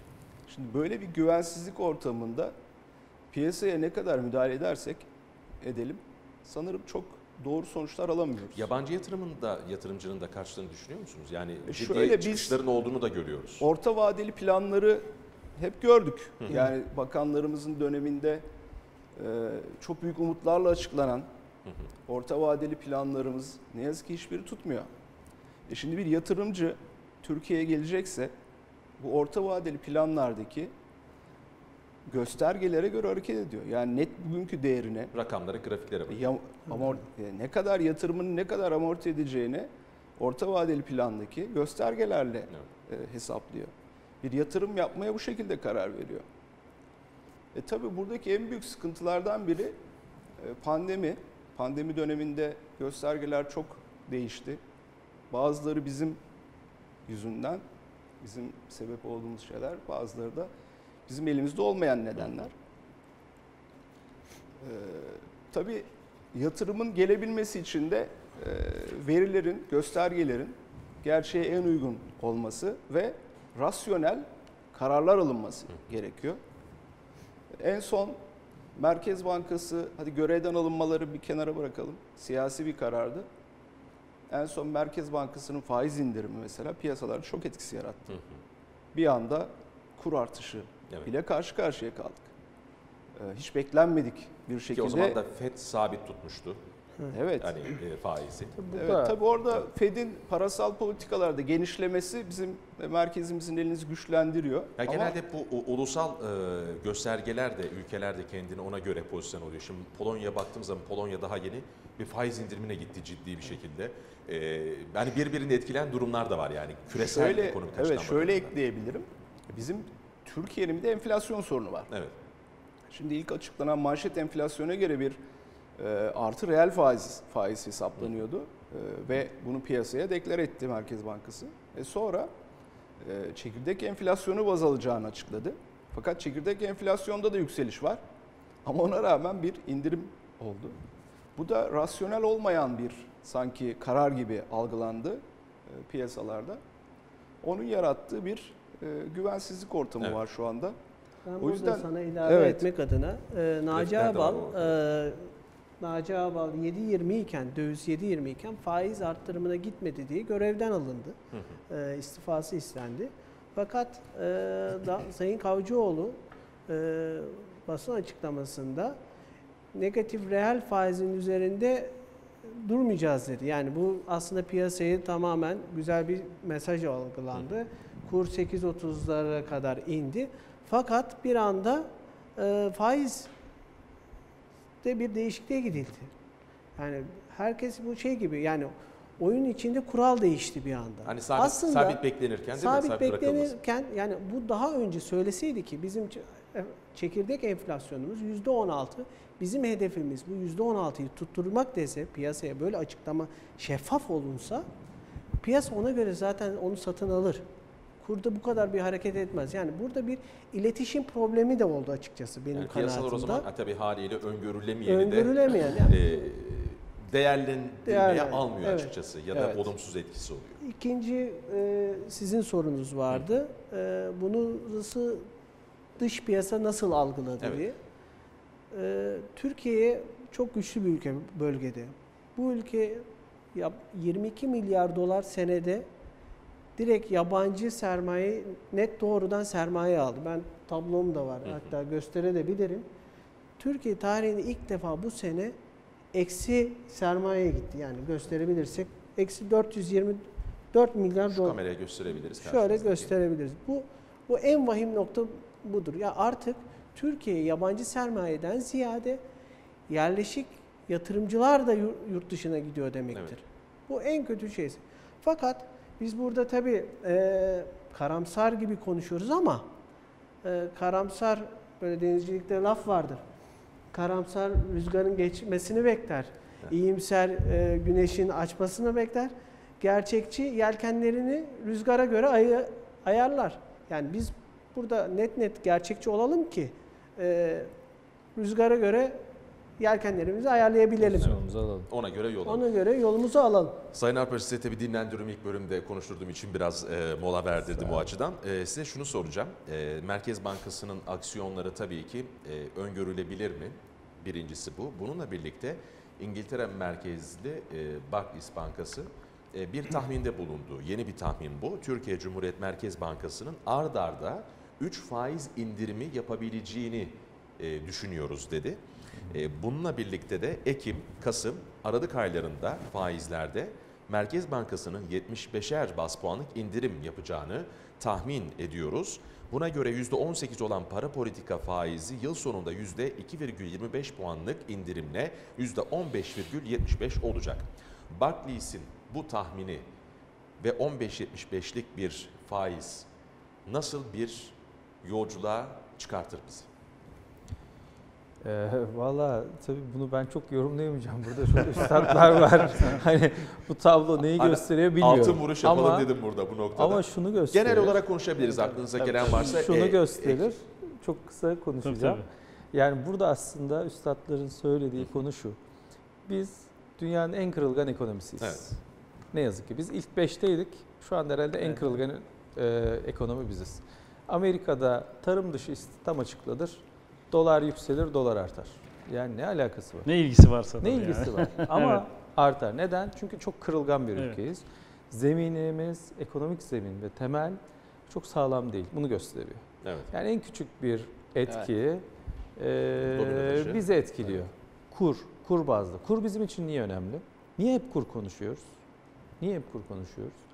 Çünkü bizim ekonomimiz kura bağlı. Biz ithalata bağımlı bir ülkeyiz. Hı hı. Ne yazık ki. Tekstil sektöründeyim. İnanın biz eee, sanayici diyemeyiz biz kendimize. Biz montajcıyız, biz üreticiyiz ama ithal ettiğimiz bileşenleri iş gücümüzle eee, bir araya getirip ihracat yapıyoruz. Aslında Katma katma, değer değer, koyuyoruz. Evet. Bu çok güzel bir şey. Bunu eleştiri anlamında söylemedim. Ama artık bizim ham maddemizi üretmemiz lazım. Evet. Ama artık bizim ihracatımızı kendi makinelerimizle yapmamız lazım. Bakın ben konfeksiyon sahibiyim, ihracat Hı yapıyorum. Ee, dokuma, boyahane, iplik, e, her şeyde yapıyorum firmamda, biliyorum. Bütün makineler ithal. Parçaları ithal, yağı ithal, enerjisi ithal, dolarla fiyatlanıyor. Anlatabildim mi? Dolayısıyla aslında biz bileşenleri toplayıp eee, katma değer yaratarak güzel işler yapabilen bu potansiyele sahip bir ekonomiyiz. Coğrafi konumumuz çok önemli. Eee, Türk milleti çalışkan, değer katıyor, becerikli, aklıyla pazarlama yapabiliyor ve her ürünü satabiliyor. Bu çok önemli. Ama bizim bir makinemiz olması lazım. Hı hı. Kesinlikle. Bizim ham madde üretebiliyor olmamız lazım. Eğer biz bunları üretirsek kırılgan olmayız. Evet. Benim sanayim şu anda tekstil sektörü kilit. Çok zor durumdayız. Fiyat veremiyoruz müşterilerimize. Evet. Pamuk fiyatındaki çok küçük bir artış kitledi. Şu an dokumalar sıkıntılı, iplik bulamıyorlar. Pamuk ithal edemiyoruz, Evet. pamuk fiyatı alamıyoruz. Bakın her Boyama malzeme, her Evet. emtia fiyatı dünyada yükseliyor. Ve herkes bundan etkileniyor. Doğru. Ama biz ithalata bu kadar bağımlı olmasaydık biz bu kadar etkilenmezdik. Dolayısıyla her sektörde, reel sektörde bu kırılganlığın, daha doğrusu reel sektördeki bu sıkıntılar da ekonomideki genel kırılganlığı ortaya çıkartıyor. Ee, en küçük bir şey de ma- maalesef işte kurdaki oynamalar da enflasyonu doğuruyor, üretim maliyetlerindeki artışa sebep oluyor. Zincirleme bir reaksiyon Zincirleme e, ihracatçıyı, üreticiyi sıkıntıya düşürüyor. Ancak bunların hepsinin çözümü var. Nedir? İrfan Bey. Türkiye'nin- Programın sonuna gelmeden bu çözüm bulacağımıza Hayır, bu- inanıyorum. Yok, Evet. yok bunu açıkça söyleyeceğim. Yani bunu da alt, alt Buyurun. çizgiyle söylüyorum. Türkiye iş insanları en büyük sermayesi girişimci ruhu. Evet. Hepimiz girişimci ruhuyuz. Bakın Denizli'de dolaşın. Bir sürü kafeler açılıyor, kapanıyor. Bu bizim girişimci ruhumuzu gösteriyor. O Baba Bas Basiyad'ın değerli iş insanları gelmişler Babadağ'dan fabrikaları kurmuşlar, ihracat yapıyorlar. Burada karamsar olmayacağız. Hı. Gerçekçi olacağız. Eğer ki Doğu Anadolu'daki hayvancı peynir ihracatı yapmaya başladığı zaman eğer ki İç Anadolu'daki buğdaycı makarna ihracatı yaptığı zaman markalı. Ne zaman ki Ege'deki ev tekstil markasıyla ihracata yapmaya başladığı zaman zeytinyağlı markalı ihracatımız ne zaman İtalya'ya geçtiği zaman biz o zaman başarılı oluruz. Ve ben inanıyorum ki bizim yeni Z kuşağı da Y kuşağı da artık donanımlı geliyor, işi biliyor. Fakat eksik olan noktalarımız var mı? Var. Nedir bu? Sermaye birikimi. Evet biz bugün ham madde olsun, makine imalatını olsun, ham madde yetersizliğinden dolayı fabrika yapılamıyor. Ben 2010 yılında Denizli'ye geldim. Türkiye'de ithalat üretimi yok. Likra'nın üretimi Türkiye'de yok. Gelin bu fabrikaya yatırım yapalım denildiği takdirde sermayesi birikimi lazım. Fakat bunu e, Çin %50 devlet garantili kredilerle bunu yaptı. Üretim bacağında çok yüksek. Biz de üretime maliyetlerini azaltarak ve üretime teşvik vererek zannedersem 2006 yılında 5084 Evet. sayılı teşvik yasasıydı değil Evet, mi e, İzzet abi?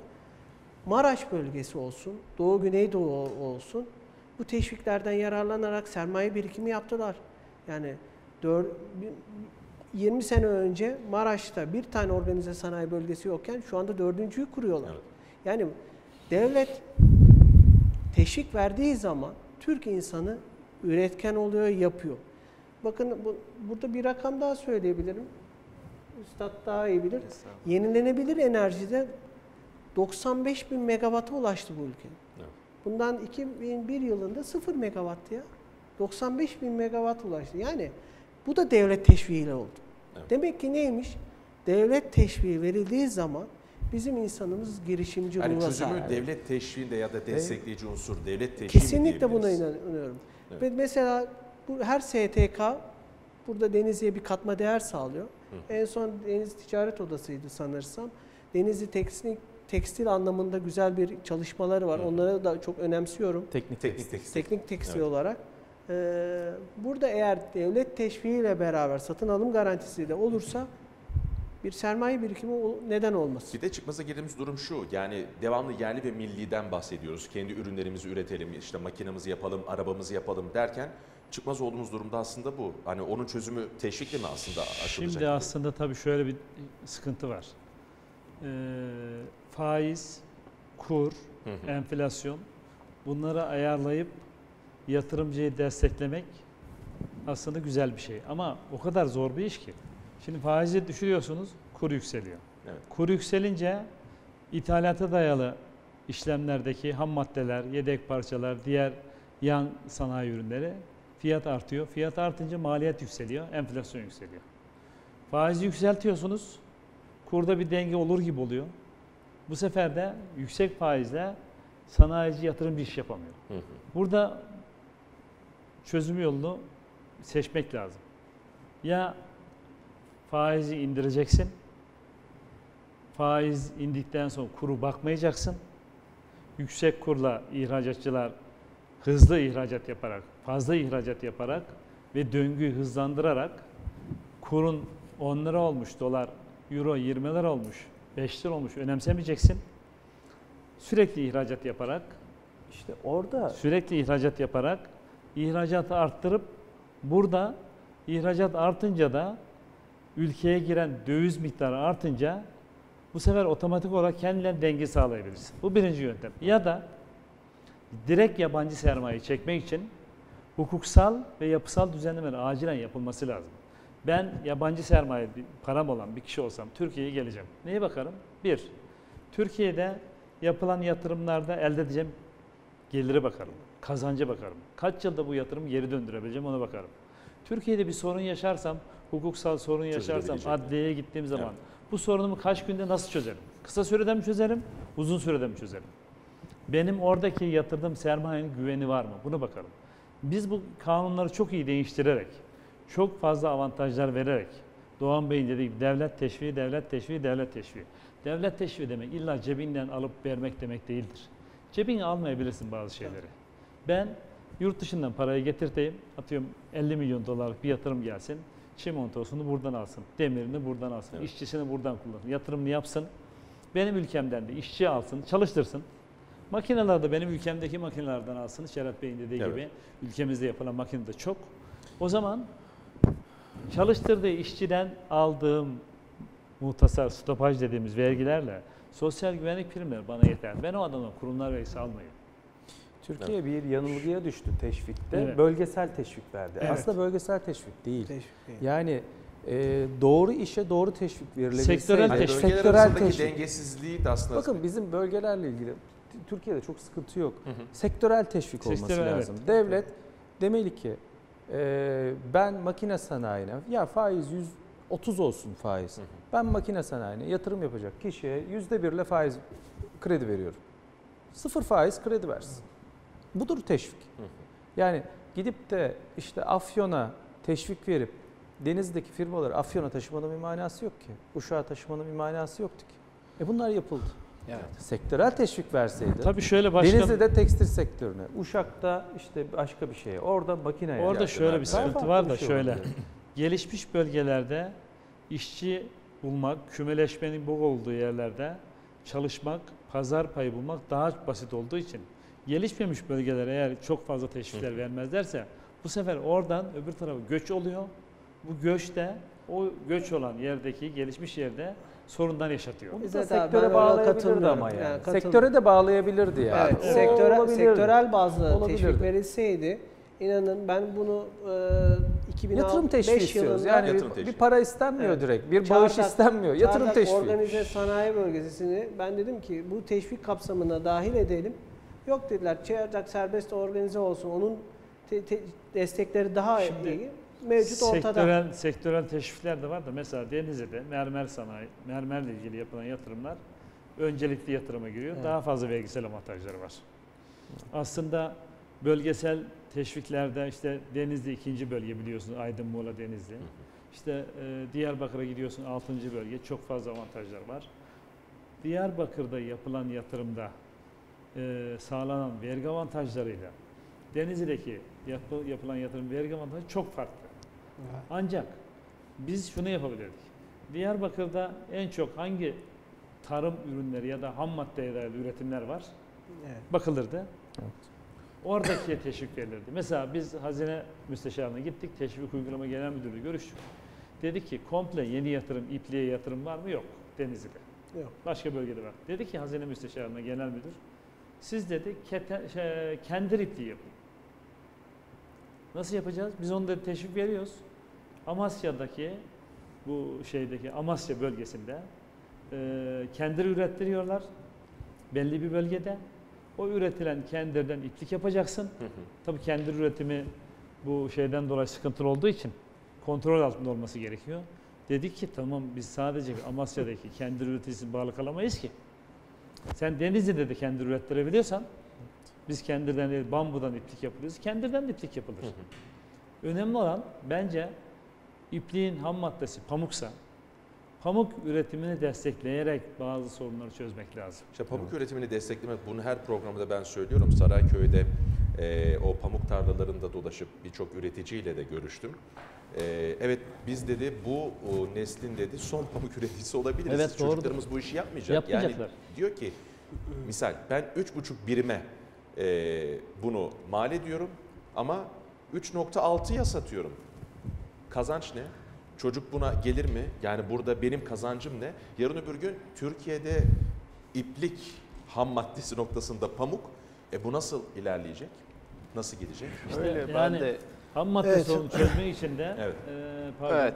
e, ham madde sorunu çözmek için de sadece pamuktan değil başka e, ham maddelerden de Evet. tarım ürünlerinden de iplik Yan, yan, üretilecek. yan, yan ham madde. Yani- ben de teşvik Buyurun. konusuna birkaç ilave Buyurun. yapmak istiyorum. Teşvik belgeleri ve destekler aslında kamu kaynaklarının e, sermayedarlara teşvik amaçlı, girişimciliği arttırma amaçlı e, kullandırılan kamu kaynağı. Evet. Yani hepimizin aslında e, hazinedeki bütçeden ayırdığımız paylar. Bunda hedef istihdamın azaltılması ve yine e, nihayetinde gayri safi yurt dışı hasılanın artması. Tabii şimdi biraz önceki sorunuzla da çok bağlantılı. Yani 3 ay üst üste e, bir faiz indirimi olacak mı? E, ne- olursa evet onu da Türk merak lira- ediyorum. O Şimdi konu- şöyle işte, yani- ne gibi sonuçlar doğurur? Şöyle yatırım 15-75 oldu. Şimdi sermayedar e, bir kere e, reel olarak risksiz getirinin üstünde bir kazanç isteyecektir. Yani yatırımı niye yapacak? Evet. Yani bunu e, reel faiz alıp e, çok rahat bir hayat da yaşayabilir. Yüksek enflasyon ve yüksek faizin olduğu dönemlerde. Ya da enflasyonun ve faizin e, minimum düzeylerde kaldığı ve gerçekten de imalat sanayinin ruhuyla, o sanayicilik ruhuyla e, bir emek ortaya koyup, bir ürün ortaya koyup bunu da e, bir hedeflediği kar marjıyla öz sermaye karlılığıyla e, planlamak isteyecektir. Yani sermayedarı biz başka türlü çekemeyiz. Yani faizlerin bu kadar yüksek olduğu bir dönemde biz ne, ne nasıl bir teşvik verebileceğiz? Teşviklerimizin e, oranı yükselir. Yani Hani faiz düştüğü zaman bu teşvikleri verme Faiz konusunda- düştüğü zaman şu, e, şu ana kadar zaten teşvik kanunun ne kadar başarısız olduğunu başkanımız da ifade etti. Yani burada e, sektörel teşviklerin e, uzmanlık alanlarına göre verilmesi ve öncelikli olarak sektörler tespit edilmesi ki bununla ilgili Hazine Bakanlığı'nın çok çalışmaları oldu. E, fakat ne yazık ki bölgesel teşvikler hiç işe yaramadı. E, bizim faiz Türk varlıklarına yatırım yapmamız gerekiyor. Yani e, hem dışarıdan yatırım getirmemiz gerekiyor hem içerideki sermaye birikimini de yatırıma yönlendirmemiz gerekiyor. Çünkü gayri safi yurt içi hasılayı arttırmamız gerekiyor. Çünkü dünya ticaretinden biraz sonra Doğan bahsedecektir. Dünya ticaretinden aldığımız pay çok düşük bizim.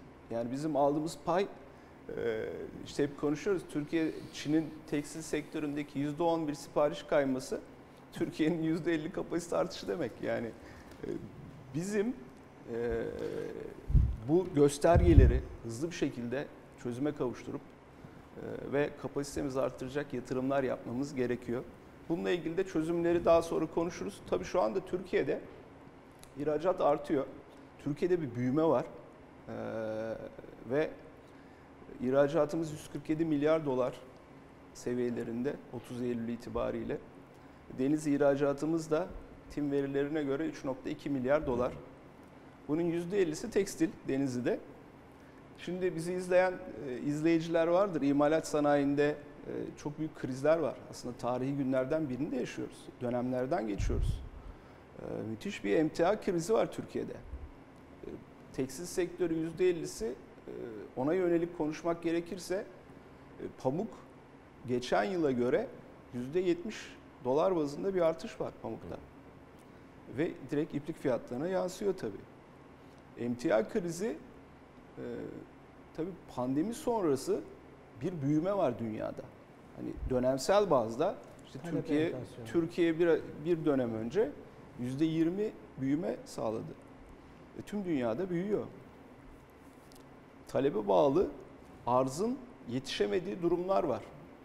Arzın yetersiz kaldığı durumlar var. En son e, ilk başta biz bunu e, pandemide e, şeyle lojistik sıkıntılarla yaşadık. Konteyner krizi baş gösterdi. Konteynerler bir tarafta kaldı.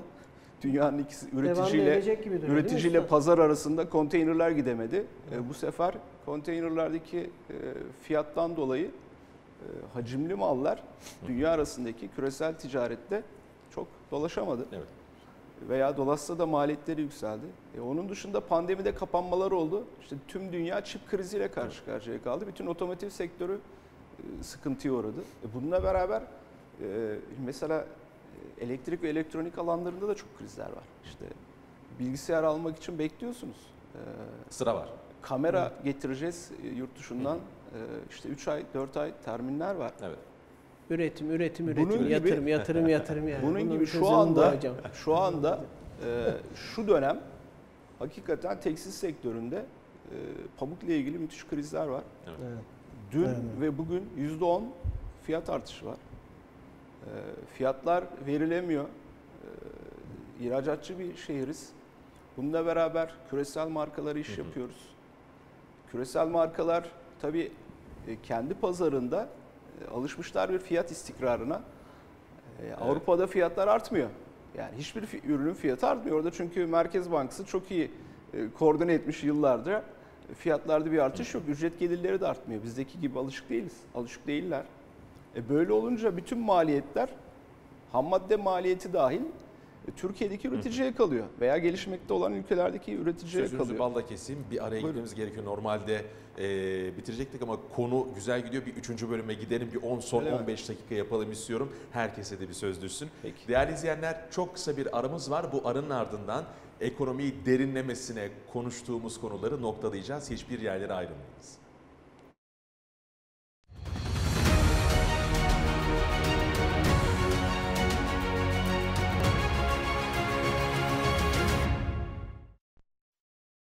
Birlik 1952'nin sunduğu haftaya bakış devam edecek.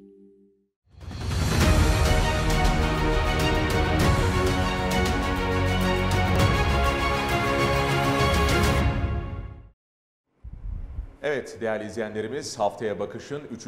bölümünde sıcak ekonominin gündem maddelerini konuşuyoruz. Birçok meseleyi e, masaya yatırdığımızı düşünüyoruz. Artık son bölümde e, bağlayacağız, tamamlayacağız.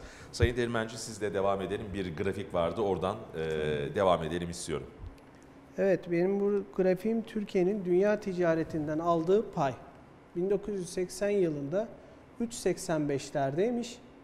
Bu pay 2001 krizinde dibe giriyor ve 2002'den sonra bir Avrupa Birliği çıpası ile beraber ihracat odaklı bir büyüme ile dünya ticaretindeki payımız dörtlerin üzerine çıkıyor. Fakat bu rakam e, göreceksiniz e, tekrar 0.80'lere kadar geri geliyor. Yani dünya ticaretinden aldığımız pay 1980 yılındaki aynı rakama geliyoruz. Bunu bu ticareti e, arttırabilmemiz için açıkçası ihracatçılarımız yılın 365 gününün 200 günü dışarıda olmamız lazım. Biz koşturacağız. İhracata dayalı üretim modeline geçilecek. Mal satacağız, ticaret payını alacağız. Çünkü neden? Dünyada 3 saatlik uçuş mesafesiyle 19 trilyon dolarlık bir ekonominin içinde bulunuyoruz. Hı. Uçuş mesafesiyle 3 saatte buradaki payımızı arttırmamız lazım. Biz gençlerin, biz yeni neslin önünü açıp devletin, te- adı ister teşvik olur İzzet abi. Biz bu ülkeyi kalkındırabiliriz. Kalkındırırız da yani her şeyi çözüme bağlarız. Bunların hepsinin bir çözümü de var. Sonuçta ekonomi bilimdir. Evet. Bunları okuduk, yaptık, gördük. Krizleri de yaşadık. Ben 98 krizini yaşadım, 2001 krizini yaşadım, 2008 krizi. Türk insanı düştüğü yerden kalkmasını biliyor. Evet. Bu kabiliyetimiz var, yeteneğimiz var. Genç insanımız var. Hepsi ihracatçı olabilir. O yönden bize yeter ki bir inansınlar. Yani yapılacak, alınacak tedbirler de günü kurtarma değil, geleceği Tabii ki de. yönlendirme Tabii ve ki de artık yani ekonomiyi. FED faizi şöyle oldu. İşte Merkez Bankası hayır herkes soracak. Benim üretim maliyetlerimi kim nasıl indirecek? Üretim maliyetlerimizi nasıl aşağıya çekecek? Onu konuşacağız. Ondan sonra yap- yapılan yatırımlara teşvik alacağız. Yılın 365 günü, 200 günde mal satacağız. Evet. Çözüm de Çözüm bu. burada yatıyor diyorsunuz. Sayın Nur Çoban siz neler söyleyeceksiniz son olarak e, toparlayacak Son olursak? olarak tabii pandemi bize e, çok farklı şeyler öğretti. Özellikle e, sürdürülebilirlik kavramını gündemimize taşıdı. Aslında pandemi öncesi Paris İklim Anlaşması ile tüm dünyada gündeme gelmişti. Ne yazık ki biz bu anlaşmanın bir tarafı değildik, imza atmamıştık. Fakat bugün sanırım komisyon, meclis komisyonlarından geçti. Geçti. Paris, Paris İklim Anlaşması. Bir yarım saat, 45 dakika öncesinde. Evet şimdi bütün artık orta vadeli ve uzun vadeli planlarımızı bu Paris İklim Anlaşması çerçevesinde yapmamız gerekiyor. Tabi burada e, Birleşmiş Milletler'in kalkınmaya kalkınma planı var. E, iklim krizinin dünyada devam etmesi mümkün değil. İşte yaşadık Almanya'da sel, Rize'de sel aynı anda, Belçika'da sel, kuraklık, e şimdi tabii konuştuğumuz konuların içerisinde bunlar da var. Tarıma dayalı ham maddelerde çok büyük krizler yaşanıyor. Sanırım kar maksimizasyonu e, özelinde sermaye hareket edemeyecek gibi görünüyor. Yani bu kapitalist sistem, bu ekonomik sistem biraz e, doğayı yok ediyor. Yani dünya ısınıyor. İklim Anlaşması'nın Avrupa Birliği'nin hedeflerinin arasında 2030 yılında 1990'lı yıllara dönme, E, dünyanın ısısını azaltma var. Bu da karbon salınımıyla yapılacak. E, sanırım artık bunları konuşacağız yeni dönemde. Yenilenebilir enerji gündemimizde olacak. E, çatılarımızda hepimizin gesi olması gerekiyor. Evet. Hem doğal kaynakları tüketmemek adına. E, benim söyleyebileceklerim şimdilik bu kadar. E, sanırım bu dönem sadece sürdürülebilirliği konuşacağız. Evet. Tabii bu noktada söylemiş olduğunuz özellikle bu e, anlaşmanın ötesinde artık e, bizden mal ürün almak isteyen e, birçok kişi de e, sizler de aşinasınızdır. B Corp, B Corporation üzerinden şuna bakacak. Arkadaşım sen şu kadar suya zarar veriyorsun, kirletiyorsun. Bunu ne kadar geriye dönüştürüyorsun? Çevreye bu kadar zarar veriyorsun, ne kadar ağaç dikiyorsun? Güneş enerji sistemlerin var mı? Ben senden buna göre malımı alacağım Tabii, tabii, diye tabii. Corp diye bir kriter geliyor artık yani. Şu anda Kişiler buna göre, biz ihracatımızı buna göre yapacağız artık. tabii tabii şu anda binalarımıza bile biz enerji kimliği Evet. almak zorunda kalacağız. Ne Yani kadar hem e, veriyorsun, ne kadar tabii alıyorsun? tabii hem üretimlerimizde hem binalarımızda enerji kimliği olacak. Evet. Ardından zaten karbon vergisi geliyor. Evet. Ee, bu da çok daha şu anda konuşulmayan bir konu. Çok çok yeni bir konu. Ama sınırda gümrük esnasında e, ülkelerimizin karbon salınımına göre ya da şirketlerin karbon e, salınımına göre bir vergilendirme olacak. Evet. Bu da Türkiye'nin e, ihracatı için e, sorun olarak görünüyor. Evet. Bizim acilen tüm buna planların göre planlamalarımızı e, buna göre yapmamız gerekiyor. Evet. Uğur Bey ilave olarak Buyurunuz. e, tabii tarım alanlarımızın yaklaşık üçte ikisi kuraklık riskiyle karşı karşıya. Türkiye'deki en büyük risklerden Evet. birisi de budur. Yağış rejimine Bir baktığınız zaman. e, onun için organik tarım alanlarının, tarım ihracatının da e, ben Evet. çok önemsiyorum. Çünkü elimdeki diğer grafik ise ülkelerdeki tarım oranlarını, alanların oranına baktığımız zaman yaklaşık şöyle bu kameraya ileteyim. Türkiye 1.4'te. Yani tarım ülkesi diyoruz. Organik tarım alanlarında inanılmaz bir yatırım fırsatı var. Tarımda bir e, teknolojik yatırımı önemi var. Burada da tarım alanında da yatırımda fırsatların olduğunu da düşünüyorum. Evet, buna göre de tabii düzenlemeler yapılması gerekiyor. Sayın Arpacı, siz neler söyleyeceksiniz? Ee, Ben şöyle genel olarak bir konuştuklarımızı toparladığım zaman şunu düşünüyorum. Faizi konuştuk, Hı hı. kurut konuştuk, yatırımı konuştuk, ihracatı konuştuk ve kırılganlığı konuştuk. Hı hı. Aslında e, bu konuştuklarımızın temelinde istikrar yatıyor. Hı hı. E, sanayici yatırımını her şekilde yapar, üretimini her şekilde yapar. Naçizane işte benim e, yıllar içinde yaşadığım, yaşamadığım kriz kalmadı. Doğan Bey'in söylediği gibi. E, biz her şekilde e, ayakta durmasını bildik, gemimizi yüzdürdük. Ama hep istediğimiz şuydu, istikrardı. Fiyat istikrarıydı. Faiz, biraz önce bahsettiniz. E, Doğan Bey de söyledi ki ya oyun içinde kurallar değişiyor. Tabii bu istikrarı bozan bir şey. Yani Türkiye son 20 yılında e, bu politikalarla buraya gelmedi.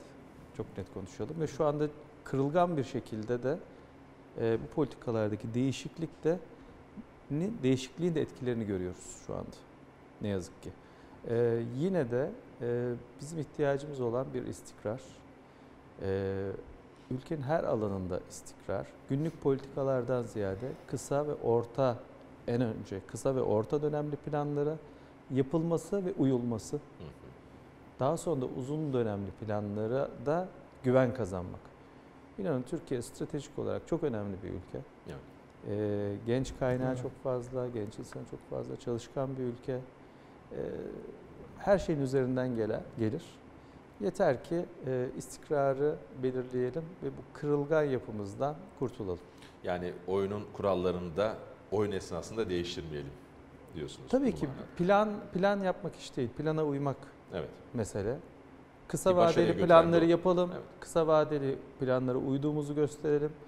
Orta planlı e, orta vadeli planlar için güven verelim.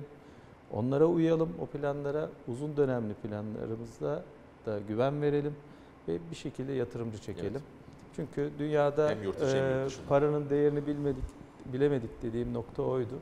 Para boldu, para gidecek yer arıyordu. Biz ülkeye çekemedik. Evet. Bu doğru. Evet. Teşekkür ediyoruz. Evet Sayın Özer siz neler söyleyeceksiniz son Evet. olarak? Şimdi e, gençlerimiz çok güzel şeyler söyledi. Aslında e, başkanımızın, Doğan Bey'in, Uğur Bey'in söyledikleri de herkes aslında az çok dünyada neler olduğunu ve Türkiye'de, ülkemizde neler olduğunu biliyor. Bildiğimiz şeylerin hepsi de doğru şeyler. Bunlar hepimizin ortak sorunları. Ancak şu anda e, dünya değişti. Çok farklı yerlerdeyiz. Özellikle pandemiden sonra da çok farklı yerlere geldik. Mesela ben kendi şahsi düşünceme göre şu pandemide yaşadığımız olaylardan dolayı ilerideki küresel ısınmaya fayda sağlamak istiyorsak ne olur dünya 15 gün uçaklar uçmasa, insanlar yerinden hareket etmese, herkes yerinde kalsa, sadece gıda ile sağlık güvenlik çalışsa da bu küresel ısınmaya bir fayda sağlasak dünya olarak. Biz Türkiye olarak aslında çok zor durumdayız. Türkiye'yi yönetmek de çok zor şu anda. Göçmen sorunu var. Ekonomik sorunlar var. Küresel sorunlar var. Kendi içimizdeki enflasyon sorunu var. Kendi içimizdeki güvenlik sorunları var. Bunların eğer gerçek anlamda biz baş etmek istiyorsak birincisi şu. Başkanımın dediği gibi istikrarlı ileriye dönük ekonomik politikalar. İstikrarlı ileriye dönük güvenlik politikaları, hukuk politikaları. Bunları sadece A partisi, B partisi, A siyaseti, B siyaseti olarak değil. Biz bu ülkeye de yaşıyorsak, bu ülkeyi seviyorsak ne olur siyasiler kendileri arasında çalışmayı bıraksınlar.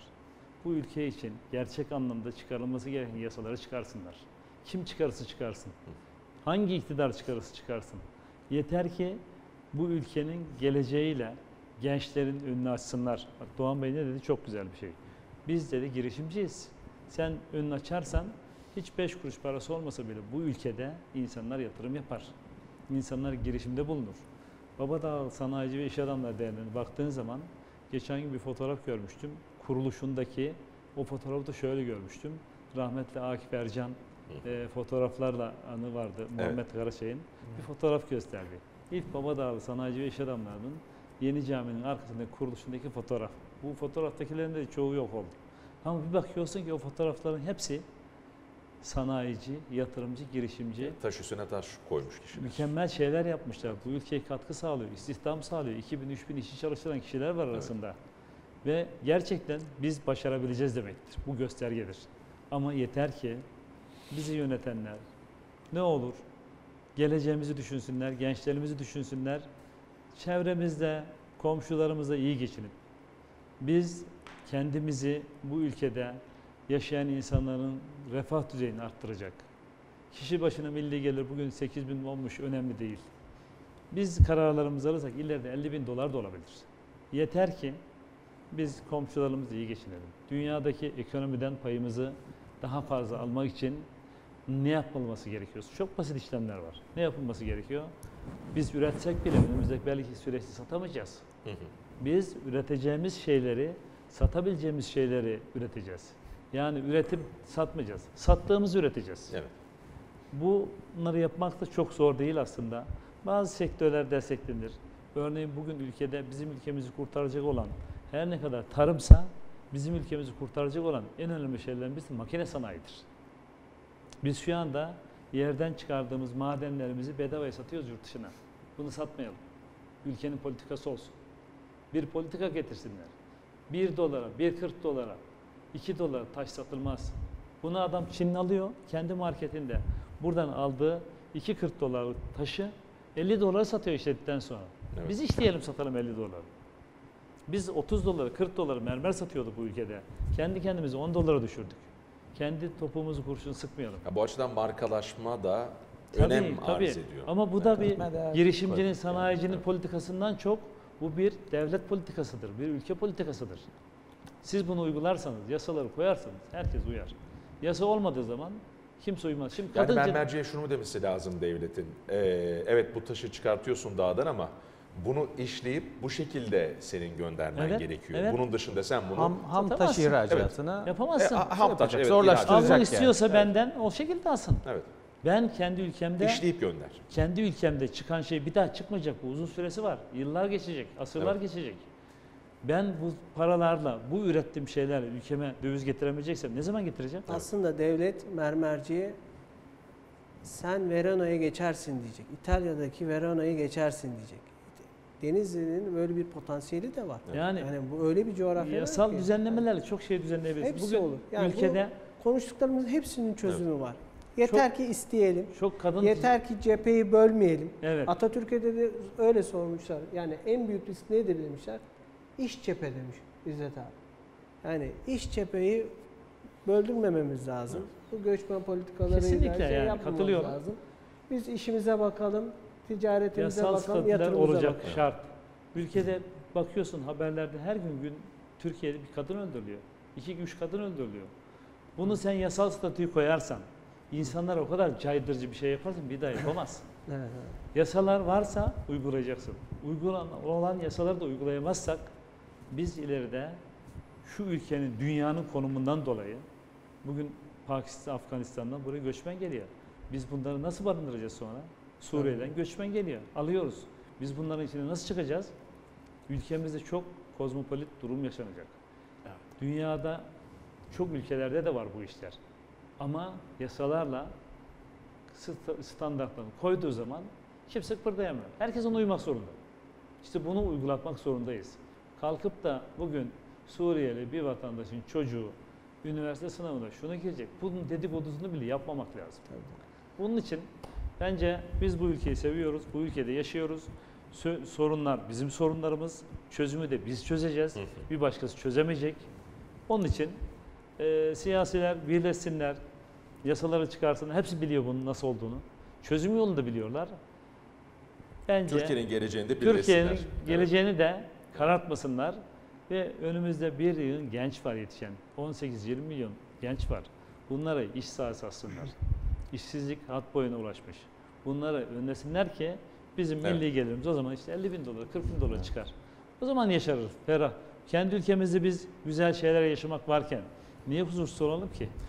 O zaman Evet. şöyle diyelim ederiz. İrfan Bey. Çok kısa, Çetin- 15 saniye. Çetin Altan'ın kazandırdığı bir şey var, motto Enseyi var. karartma mı diyeceksin? Enseyi karartmayalım. evet. enseyi karartmayalım her zaman. Onu da özellikle e, Evet. söylüyorum. Yani enseyi karartmamak lazım.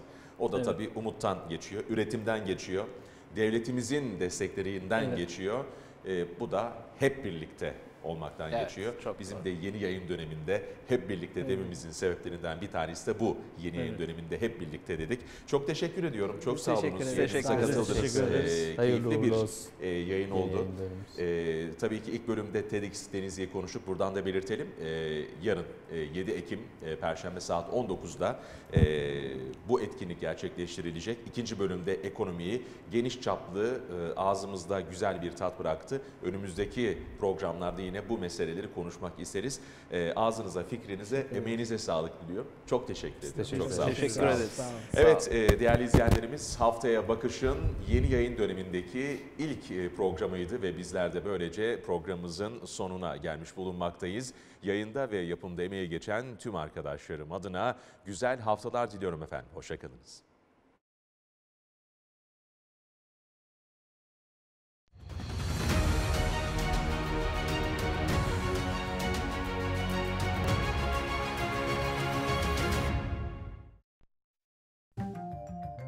Birlik 1952 haftaya bakışı sundu.